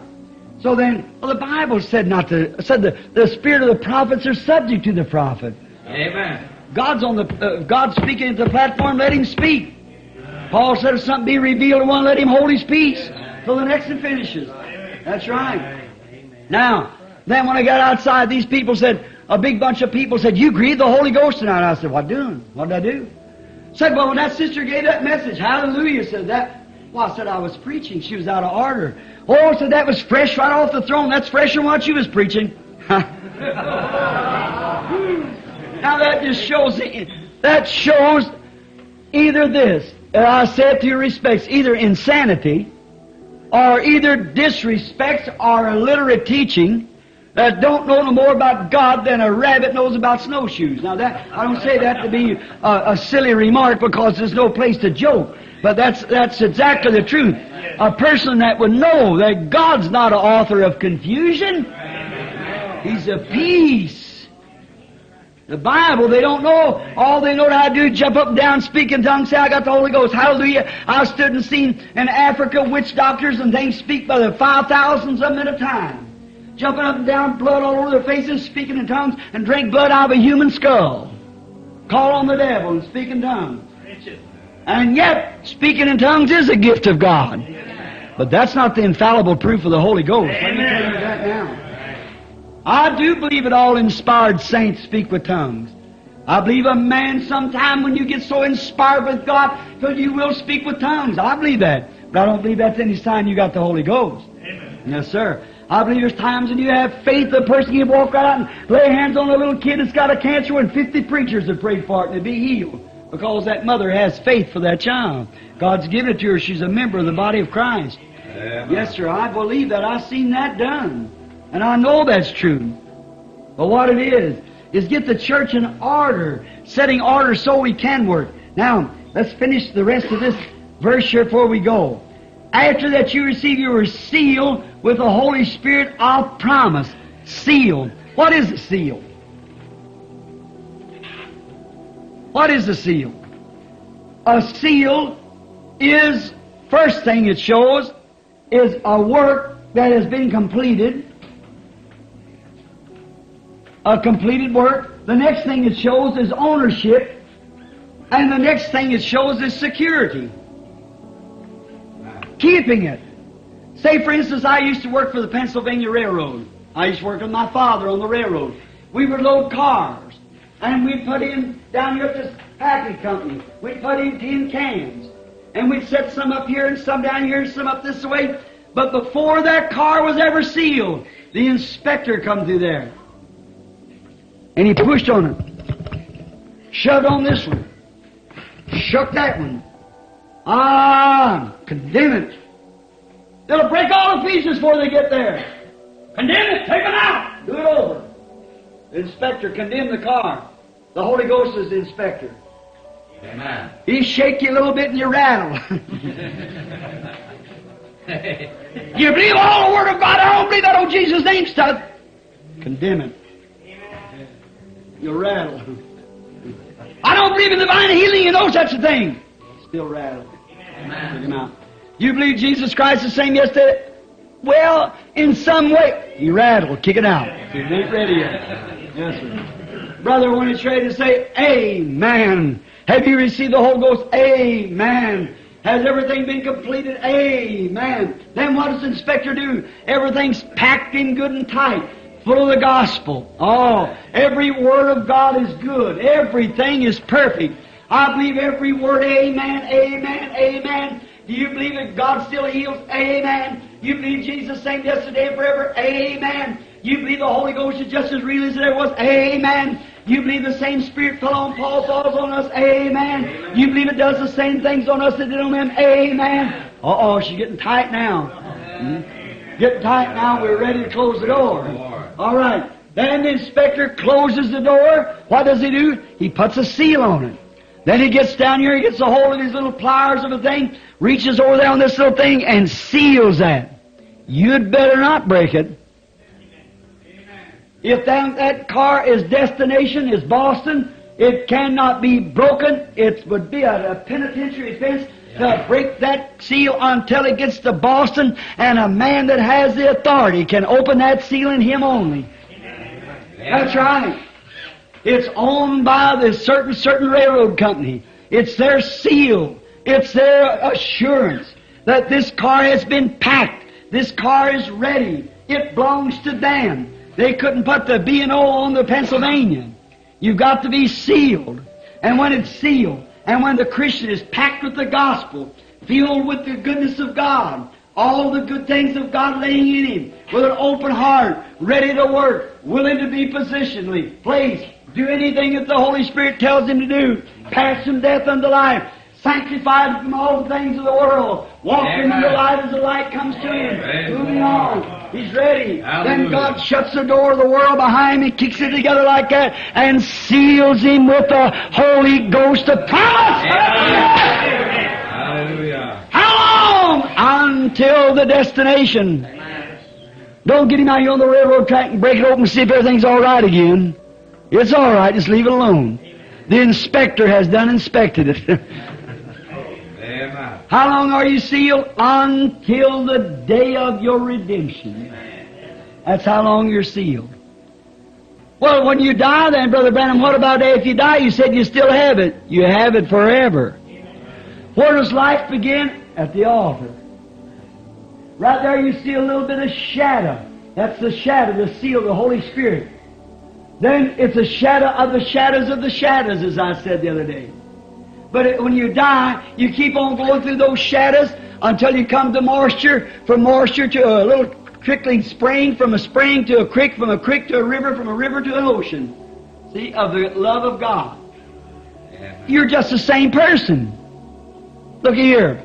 Old Saul, the old backslider, he could not get through to God. Yet he wasn't lost. Which he certainly wasn't. He was a prophet. But he just got outside of God. That's the reason, brother, and I said you're not lost. So then, remember, he just got out of the will of God. So then the first thing you know, you, you wouldn't agree. Now, maybe I shouldn't have said that. All right, I'm just going on for a happy congregation tonight. Amen. So then, um, you know, and the first thing you know, oh my! Then uh, he went to the, the Urim Thummim. You know what the Urim Thummim was? Is the breastplate, the ephod at, at the Aaron wore. And it was always God, always has been a supernatural God answering in supernatural ways. And when a prophet prophesied and them mystic lights didn't come across that Urim Thummim, he was wrong. When a dreamer told a dream and it didn't flash on that Urim Thummim, I don't care how good it sounded, it was wrong. That's right. And I don't care just exactly how many doctor's degrees you got and how big your organization is. When you prophesy, preach it in according to this word, you're wrong, brother. You're, this is God's Urim Thummim. When you say you wasn't predestinated before the foundation of the world, she won't flash because the Bible said you was. When you say that you ought to be baptized in the name of Father, Son, Holy Ghost, it doesn't flash because nobody in the Bible is ever baptized that way. Only in the name of the Lord Jesus. It won't flash. So there's something wrong somewhere. So uh, the Urim Thummim wouldn't answer old Saul. And he couldn't even have a dream. He was so far gone that he couldn't even have a dream. So you know what he done? He went down to the witch. And this old witch, the old devil, doctor down there, witch doctor. And he said, Can you divine? She said, Yes, but Saul said he'd kill everybody divine. He said, I'll protect you. Dressed like a footman. He said, Divine for me. And bring me up from the world of the dead that's passed on beyond here. Now listen to this. Bring me up the spirit of Samuel the prophet. And she went into to divine. And when she did, she fell on her face. She said, I see gods coming up. See, she's a heathen, gods. Two or three of them, like Father, Son, Holy Ghost, or something like that, you know. She said, she said, I see gods coming up. Said, describe him. How does he look? what does he look like? Said he's thin. And he's got a mantle over his shoulders. Amen. Oh, hallelujah. Yet and changed a bit. He said it's Samuel. Bring him in this room. Bring him here before me. And watch, when Samuel come before Saul, he said, Why did you call me? Seeing you become an enemy to God. And watch, not only was he still Samuel, he still maintained the spirit of prophecy. Amen. Hallelujah. Say it's wrong. Let anyone say it's wrong. It's the truth. He was still a prophet. For he said, he prophesied and said, the battle's going against you tomorrow, and you and your sons will fall in battle tomorrow, and by this time tomorrow night you'll be with me. Is that right? He was still a prophet. Now you say, oh, but that was a witch did that, all right. I'll tell you when it wasn't a witch. Jesus took Peter, James, and John and went up the Mount Transfiguration one time. And was standing up on top of the mountain. And Jesus, God was placing His Son, like I'm trying to had the other night, placing Son. And when they did, they looked around and found out that there stood Moses and Elijah. They were talking, communing, not little white flags floating around, or little white clouds rather, floating around, but they were man. Amen. Talking, Moses had been buried in an unmarked grave for 800 years. And Elijah had went home in a chariot 500 years. And here they both was still just as much alive as they ever was alive, standing there talking to him before he went to Calvary. Hallelujah! Sealed until the day of our redemption. I'll hurry and then we'll close because it's late and we'll pray for the sick. About five more minutes. 14th verse. Read, let me read the 13th over, it, get it background. In whom you trusted, after that you heard the word of the truth, the gospel of your salvation. Now remember, what salvation they have? These were, these were Ephesian Christians. They, now look, did you notice the Corinthians? He always had to tell them, when I come among you, one has a tongue, one has a tongue, one has a psalm, one has a prophecy, one has, see? He couldn't teach them nothing. Cause there's always desiring this, that, or the other. These people had the same thing, but they had it in order. Amen. He never taught the Corinthians nothing like this. He couldn't. The church wasn't in order to teach it. Now he could teach these people the real thing, which your salvation, in whom also, after ye believe, you sealed with the Holy Spirit of promise, which is the earnest. Oh, let me not pass that. The earnest of our inheritance until redemption of the purchase possession unto the praise of His glory. What is the Holy Ghost? Now, then I'll read the rest of it real fast if you'll bear with me this much. Where was we at the other night? Brother Mike, where they were all happy. Oh, everything was peace. That was perfect love. Now, every time you come this way, you drop down a little. Drop every time you make a step, you come inches closer. When it gets down to the earth, you got a shadow of the shadow of the shadow of shadows. Now that's how much Holy Spirit you got in you. That's love. But oh, you thirst for something. Oh, what not? People like uh, old old people. How would I like to go back and be 15 again, 20? Oh, I'd give anything. What good would it do me? I might be 15 and die yet tonight. It's uncertain. What if you was 15 tonight? How you know where the mother be living how you got home or not? How you know you're going to get home? How do you know you're going to be living tomorrow if you're 12 years old? Perfect health. You may be killed in an accident, drop dead, anything might happen to you. Uncertainty. There's nothing here certain. But you long for that. What is it? It's that up there. Making you long for it. Now, you walk into this, then you have eternal life. Now what does it happen? It is the earnest. What is the earnest money on anything? If I come to you to buy a car, I say, how much is that car? You say, this car, Brother Branham, costs you $3,000. What's the down payment? Well, I let you have for $500. All right, here's the $500. I'll, I'll bring the rest of it to you sometime as soon as I can. You hold the car. I'll give you $500. That's the earnest. Is that right? Now hold that. It's the earnest. It's the down payment. After you were sealed by the Spirit of promise, the Spirit of promise, after you were sealed, which is, what, what is the seal of promise, the Holy Spirit promise? Which is the earnest of our inheritance until redemption of the purchased possession. What is it? It's the down payment. And brother,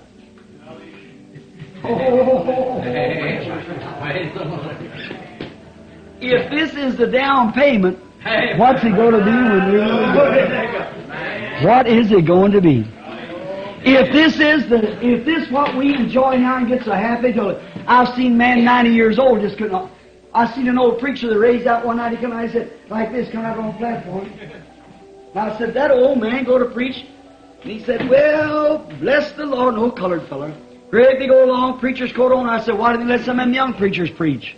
That old man, how can he ever preach? He said, well, he said, brethren, he said, the day I've been hearing the brothers preach all day long, he said about what Jesus done on earth, I'm going to tell what he done in heaven.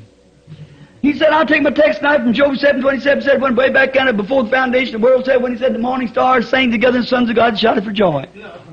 So like that. Said, you know, listen, what something went on back there. He said, you know, and he began to bring on what taking place in heaven. He brought him down the horizontal rainbow in the second coming. About that time, the Holy Ghost struck him. Now they had to lead the old fellow out. He was around 95 years old. He's just like this, all bent over, and just a little rim of hair, you know, like this. He got out there and he started preaching. Said, Walk, peace, hallelujah, glory. Got to jump up down like that. Oh, you ain't got enough room here for you to preach. Like that. As far as he's going.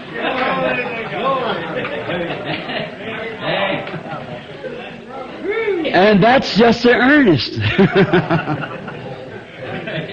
oh, what does the Holy Spirit do? Oh, here's a good place. Let me read the first verse of the next chapter, can I? Is it all right? Say amen. All right, the first verse of the second chapter. Quickly listen. You were, you and you has He quickened who were one were dead in trespasses and sins. You has He quickened. What does quicken mean? Made alive. Amen. Just about gone. But He quickens you. Just by the earnest money. What will it be when you when you really get all the dividends? Oh, no wonder Paul caught up into the third heaven and said, Eye has not seen, ear has not heard, neither has it entered, entered the heart of man what God has for them in store that love Him. Yeah. What will that be? You talk about joy unspeakable and full of glory. Hmm. You who were once dead in sin and trespasses has He quickened together by the shadow of the shadow of the shadows. What's it going to be when you come through the shadow of the shadows into the shadow? The shadow then into the creek, the creek into the river, the river into the ocean. And what is it when you're way out there in redemption with a brand new body? You've turned back to a young man altogether again or a young woman. You'll never go to die no more. And you look down on earth and think I could enjoy some grapes and some good cold water, but you know I don't need it here. But someday Jesus is coming and this angelic body, this theophany that I'm living in, will not come through the womb of a woman anymore. It'll not come through sexual desire anymore. But because that he was born without sexual desire, I'll be resurrected without it. Amen. And he will speak someday, and the dead in Christ shall rise, and that body that I once lived in will resurrect into a glorified body, and I'll walk, and I'll talk, and I'll live, and I'll enjoy. Amen. Hallelujah! Hallelujah! That is to come through Jesus Christ our Lord. There you are, brother. That's the gospel. Hallelujah. Wherefore I also, Paul just tell him now what he is, and I'll read the rest of this, and then we pray for the sick. Until the possession. This is an earnest until the possession unto the praises of his glory. Wherefore I also, after I heard of your faith, I heard that you believe this stuff. I heard that you really believe in predestination, eternal life, and salvation, and so forth. In the Lord Jesus, and love unto all saints, cease not to give thanks to you, making mention of you in my prayers, that the God of our Lord Jesus Christ, the Father of glory, may give unto you the spirit of wisdom and revelation, knowledge of Him, just keep revealing Himself to you all the time, growing from grace unto grace, from power unto power, glory unto glory, not fall back. But from glory unto glory, keep moving on. I'll keep praying for you. The eye, uh, the eyes of your understanding. Hmm. You know, when the Bible said you were blind and didn't know it. But here Paul said, I'm going to pray that your eyes of understanding, you understand with your heart. That's what he's talking about. You look with your eyes, but you see with your heart. You know that. All right. That the God of glory, let's see, that the 18th verse, the eyes of your understanding being enlightened, that ye may know what is the hope of the calling and what the riches of glory of his in- inheritance in the saints, and what is the exceeding greatness of his power to usward. They say the power's gone. Uh, the power hasn't even arrived yet. Who believed according to the working of his mighty power, You who have believed to the working of His mighty power, I just pray that God will just pour out His power upon you. See? Which He wrought in Christ when He raised Him from Him from the dead and set Him at His own right hand in the heavenly places, far above principalities, powers, might, dominion, and that every name that is named, oh, for, no, I better not. We could sure take the rest of the night on that. Every name that is named, not only in this world, but in the world to come. What is ever, what's every name, every name of every person will bear the name of what? Jesus Christ. The whole heavens named Jesus. The whole church is named Jesus. Everything is named Jesus. For it's the only name that God ever had. He's called Jehovah, Jehovah Jireh, the Lord's provided sacrifice, Jehovah Rapha, the Lord that healeth thee, Jehovah, Lord's banner, Manasseh, Jehovah, di- different Jehovahs. He's called the morning star. He's called Father. He's called Son. He's called Holy Ghost. He's called Alpha. He's called Omega. He's called beginning. He's called the ending. He's called the branch. Oh, he's called, he's just called all kinds of titles, but he had one name. That's what Matthew was talking about. Amen. When he said, Go ye therefore and teach all, uh, baptizing them in the name. Not in names, Amen. in the name of the Father, Son, and Holy Ghost. Father's not a name. Son's not a name. Holy Ghost is not a name. It's a title to a name. Yes. It's a name of three attributes that belongs to one God. What was his name? The angel said, Thou shalt call his name, And Jesus. for he shall save his people from their sins. That's the reason they all baptized that way in the Bible. That's how St. Augustine baptized the King of England about, about 150, 200 years after the death of Christ. In the name of Jesus Christ. All right. For above principalities, powers, might, dominion, that, that every name that is named not only in this world, but also in that which is to come, and has put all things under his feet, and has given him to be the head over all things to the church, which is his body. Now, if my body has a power over all things, then what my body is is what I am. Is that right? That's what I am. That's what you know me as. Is that right?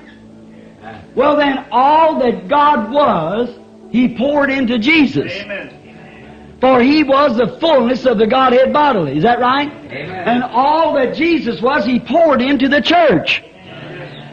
These things that I do shall you do all things. Also, even greater than this shall you do. For I go to the Father, which is His body, the fullness of Him that filleth all in all. Oh, how I love that. How I love that. I was reading the other day a book that was wrote about a trip I went to minister, uh, minister in Africa. Never did read it before. How many ever read the book? Prophet Visits Africa. In there I was looking at a little Indian boy. How many seen that picture? I heard a certain evangelist been praying for the sick for about 15 years or more. He said, I never seen a miracle performed in my life. He said, I've seen people that said they had headaches, got well. I've seen people say they had tummy ache, got well, and so forth. But a miracle, something that created and made something, I thought that boy ought to been standing there and seen that. That Indian boy's leg was just about this big around. One of them. The other was a normal leg, like a human being's leg. And if you notice his brace, there was his shoe about 14 inches or 15 inches high like this. He had an iron plate on the bottom of it. His shoe set up on top of two long standards that stood. He walked up to where I was standing. They brought him up there. He had two crutches. He took this big iron shoe, chomped it down like that. I looked at his leg. It's about that big around. Now them people are Mohammedans. Mohammedans. Did you remember last Sunday when I read you what the papers had to write? I've got it right here myself from Africa, sent to me by our returned missionary, Brother Stricker. There's the article how Billy Graham backed up on it. Exactly that the Mohammed pushed him right into the sea. What's the matter? The missionaries are leaving the field. What's use to stand any longer? You're just whipped. I love Billy Graham and think he's a wonderful man of God. But what Billy Graham ought to have charged him with, said, wait a minute. If some of these self-starched Baptists would have let him do it, I believe he would have done it. I believe Billy Graham's a man of God. But if he'd said, wait a minute, I'm a minister of the gospel. You believe in the Old Testament, and you said that Jesus wasn't nothing but a man. I challenge you on a debate. I don't believe in taking the devil's challenges, no, sir. But have challenged him back and said, let you and I come together. I'm a doctor of divinity. Billy Graham is a doctor of divinity. Let me um, challenge you on this. And let me prove to you that Jesus was the Christ. Now, when it comes to divine healing, I don't possess those gifts. But we've got some brothers that does. Amen. Amen. Now, if you want to bring them people out there, let me just call one of them, or Roberts or somebody. Amen. Somebody that has a great ministry that would really get there. Come over there and then see what take place. Say, Christianity is not what you think it is.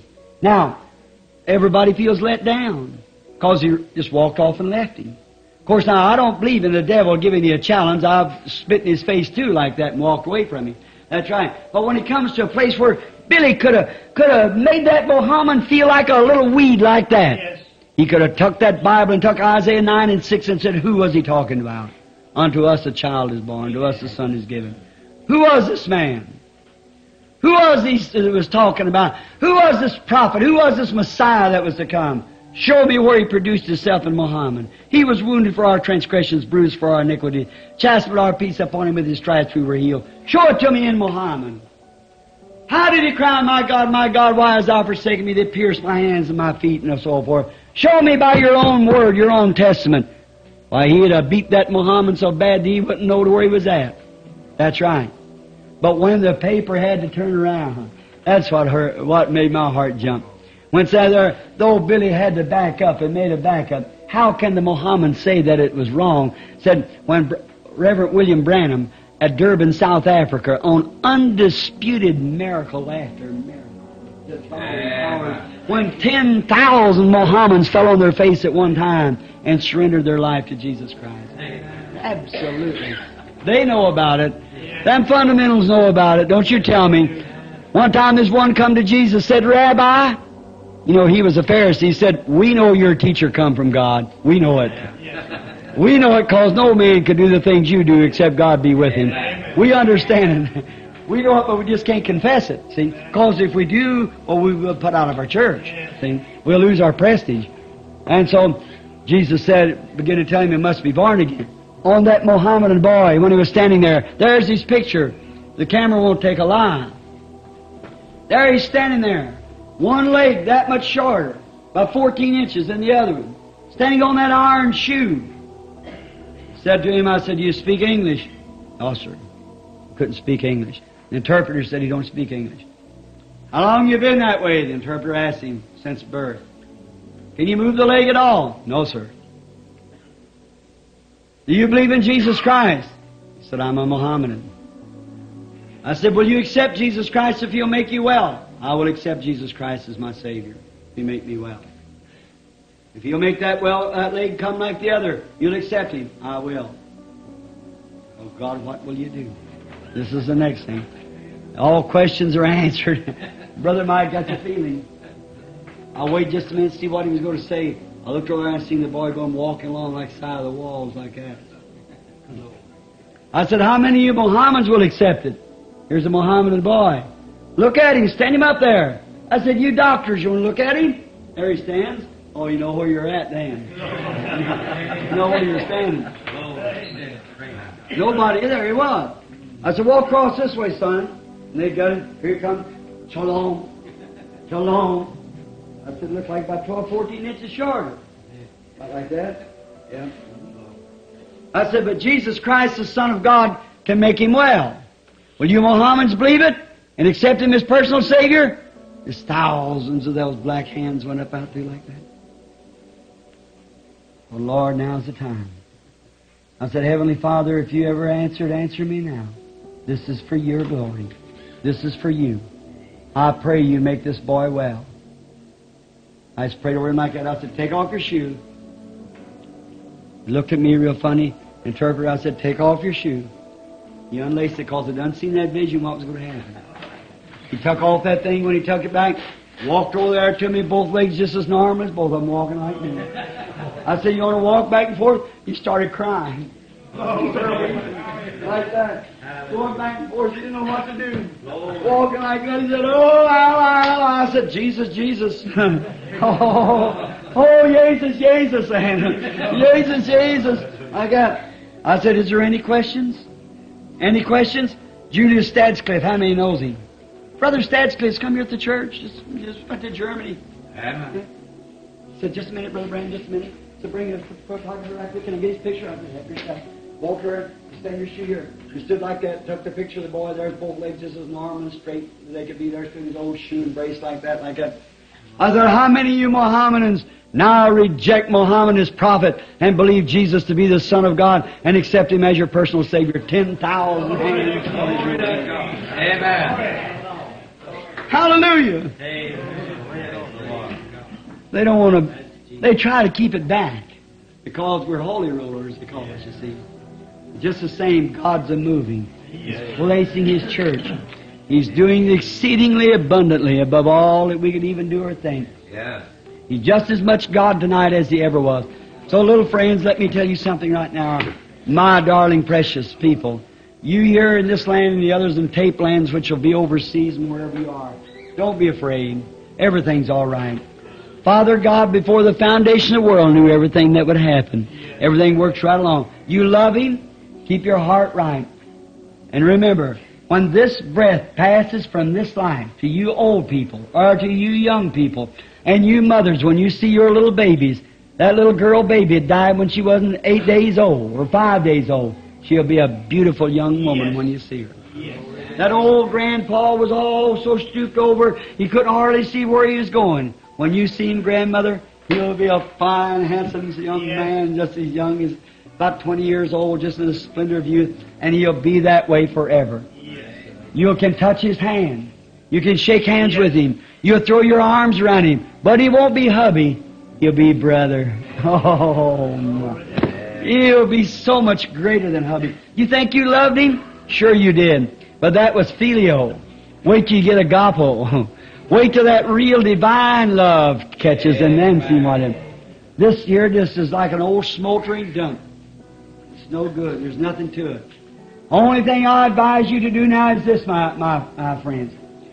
A little later on, I'll, would you like for me to pick up them other two chapters sometime? The Lord, I, I got to rest just a little before she but now I can't preach these things in them meetings. There's too many, um, too many different beliefs. You see, this is just church alone. See, I can't preach. I got a right preaching here whatever I want to. This is my tabernacle. See, and I'm telling you. Now I believe them people are saved. Yes, sir, I truly believe. But oh, how much more it is to walk when you know where you're walking. How much know it is to know what you're doing. You see, instead of staggering, stumbling along, let's just stand right up in the light and walk in the light. Know which way you're headed. That's true. The Lord be with you. And if each one of you in here now has not been positionally placed, you might not be nothing but a housewife. Well, you say, Brother Branham, I never done a thing in my life. I'm not a preacher. Well, maybe God brought you here to raise a family of children. Out of that family of children may come another family of children that'll be a preacher that'll send a million souls to Christ. You had to be here. You're here for a purpose. Did you know that?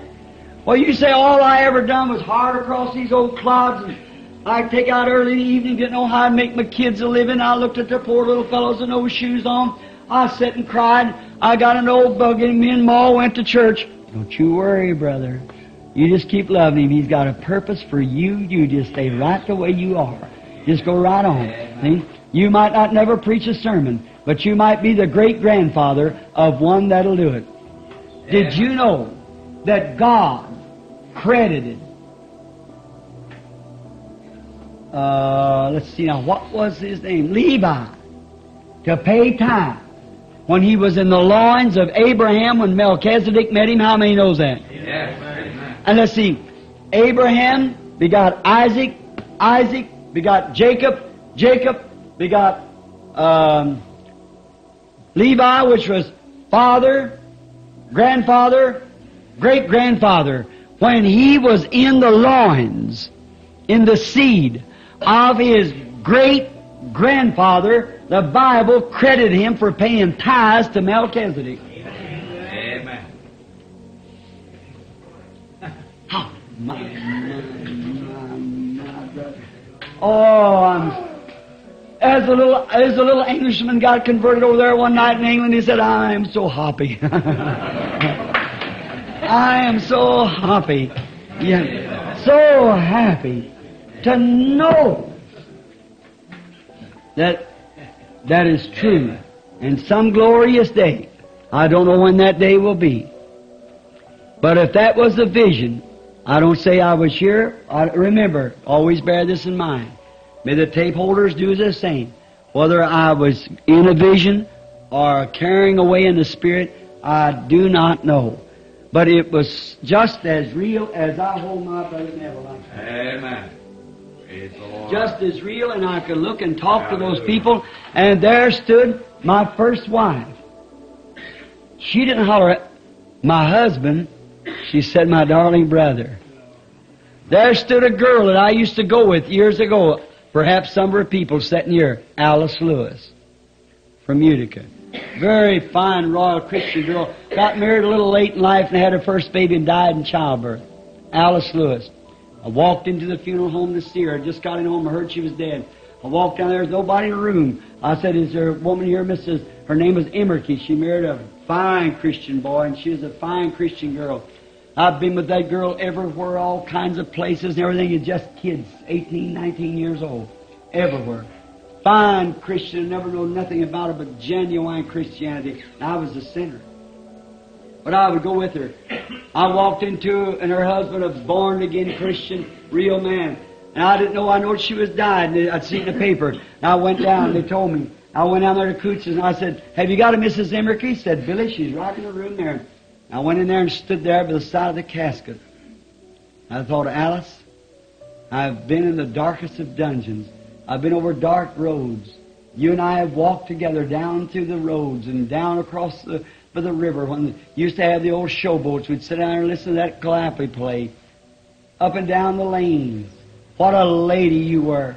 How I thank God for your life. Rest, my dear sister. Rest in the peace of God. And the other night in the vision, there she come running to me. She said, my blessed brother, and threw her arms around me. Mm. Oh, oh, brother, sister. It's changed me. I can never be the same no more. It's so real. It's just, it's just as real as I'm looking at you. Just that real. So there's no fear. I may die before the night's over. I want to raise my little boy back there, Joseph. I want to see him in a pulpit when I can take this Bible. When I get to a place I see Joseph in the pulpit preaching as a, as a young man, filled with the Holy Ghost, anointed with the Spirit of God upon him, and I believe he'll be a prophet. The day when I, when I, when I saw him six years before he was born, you remember me telling you he was coming? Remember when I caught him right there at the side of the altar, not knowing what I was saying, dedicating babies? I said, Joseph, thou art a prophet. The other day, standing out in the yard, he come into me and he said, Daddy, has Jesus got a hand like yours? And I said, Well, yes, son, why? He said, I was sitting on my bicycle watching for Sarah, that's his little sister. He'll come home from school, sitting out there, I won't let him go out on the road. He's sitting back like this. And said, I was looked up. And so when I did, there's a hand like yours with a white sleeve holding over me and said it went on up. So was that Jesus' hand going up? I looked at the mother. Mother looked at me. We went on to Miss Woods's, there where she's at, sitting here. We cross-questioned him back and forth in every way we could. It was a vision. He saw it. When I can see the time that little Joseph standing, I hope I live to see him married if Jesus tarries. And I'm an old man, the gray whiskers hanging around my neck here. I've sent I want to send two or three more million souls to Christ. If I possibly can, it's my determination to preach the gospel to every corner of the earth. Amen. Yes, sir. So help me God, I'll do it. So when I can see that time come, Brother Mike, I can look at the time, Mama, Meda, I call her, my darling, see she's, we're getting old, see her hair turning gray and see it's going away, fading away. Rebecca, I'm grateful for Rebecca. Her music teacher told me the other night, said, My, if she keeps that up, Brother Branham it's hard to tell what she'll do. See, going on in music. I want her and I want, I want Sarah on the organ, Becky on the piano. I want Joseph in the pulpit. When I can see that happen and me and Mama can stagger in, me on my old cane some night, come down along the road. I can look in there and see my boy standing there, anointed with the Holy Ghost, Amen. preaching this same gospel. I want to take this old book and say, son, here it is, it's yours. You stand with it. Don't you compromise on one word. You stay right with it, honey. Don't you, don't care, I don't care who's against you, who's against, Amen. God will be for you. You Amen. preach every word just the way it's wrote in there, and Daddy will see you across the river. I like to reach around and take her in my arms, my wife, and cross over Jordan. Until that time, God, let me stay on the field loyal. Let me, I don't care what Amen. cost is or how many, what I do or this, other. Let me stay loyal and true to the Word of the living God. That when that day comes, I cross over there and I can look across and say, there you are. Oh, my precious friend, my precious brother, my precious sister, young preacher, get into the field, stay into the harness. All you young preachers and things, don't you sit around. Don't you just sit and do nothing. Get out yonder, and win a soul, do something. Get on, get moving. Don't stop, young preacher over there. God bless your heart. He reminds me of when I was about that age, I guess, or maybe a little younger than him. I was only about 20 something years old and I laid that cornerstone there. I remember I used to wear a blue coat and a white pair of pants and stood there and laid that cornerstone about 31 years ago. See how old I was? I was just a boy. And stand there laying that cornerstone. I haven't compromised on one word. I've kept it just exactly the way I laid that cornerstone. Yonder's my testimony laying yonder where I wrote it out on the fly leaf of the Bible and tore it out and laid it in that cornerstone and she still lays there.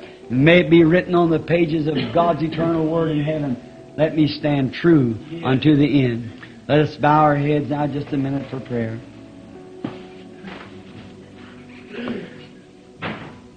The closing of this night, the closing of this one chapter which is not justified, you ought to have the other, how he goes ahead and places the church in this place. I'll get it to you sometime, God willing.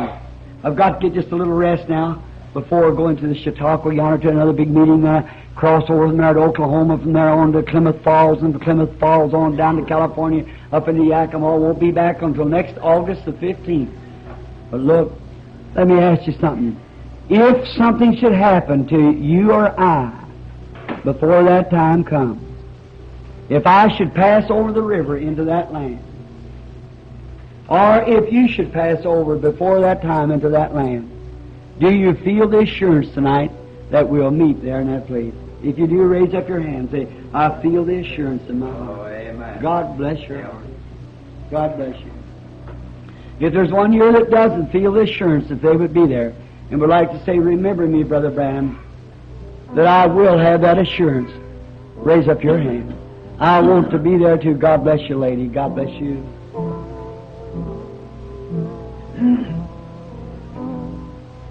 Our Heavenly Father, we bring to you tonight this congregation. Every hand, as far as I know, was up. All but one person, some precious soul sitting back here, just a little weary whether they could cross over the land, or there's enough of real divine love in their heart and that precious woman's heart that she had come to that land and she is dying tonight, would it pull her weary soul into the promised land of God? Father in heaven, as I have stood here at this pulpit and preached and sweated and cried and begged and persuaded, let me ask you once more, Lord. Let me ask for my sister back there. God placed within her heart tonight that divine love, that Holy Spirit of God, that peace that passes all understanding, that she would receive thy Spirit, be sealed away by the Holy Ghost until that day. I want to see her, Lord. When we cross over the bridge, if it's if it's my if it's my privilege to cross, if that what you showed me is real, and I've crossed across there, I want to meet her there and see her run and grab me by the hand and say, "My precious brother." It was that night that something told me to raise up my hand when you got through preaching on the book of Ephesus. I raised up my hand and something happened to me after that. Here I am. I'm young now forever. God grant it to that precious one. These who have raised their hands, that they have been sealed away by the Holy Ghost. The Spirit of God is upon them and they have received the Holy Ghost. They're sealed away with that godly love in their hearts. How we thank you for them. Realizing, Father, that out into the world these tapes will go. Many microphones are stretched across this pulpit, which means that tapes are being made, turning back there. The voice will be going into different lands across the world, around the world. Twenty or thirty different nations will hear it. I pray for every person that hears this tape that hasn't got that hope of eternal life, that hasn't got the baptism of the Holy Spirit. May it come to their hearts sweetly. Grant it, Lord. And may I, if I never see them in this life, when I cross over into that land, may they run and grab me as I grab them, and they we holler, precious brother, to one another. Say, I heard your tape on Ephesus, how that God predestinated us to eternal life. And it was on that tape that I received the voice of God and was sealed away by the Holy Ghost into the kingdom of God. Grant it, Father. Heal all that's sick and afflicted. Get glory into thyself, for we commit all this unto thee in all efforts. In the name of Jesus, thy Son. Amen. Is there any here that's sick and wants to have hands laid on to be prayed for? Would you raise your hands? All right. Would you walk quietly now to the altar right here and stand just a moment while Brother Neville comes with us?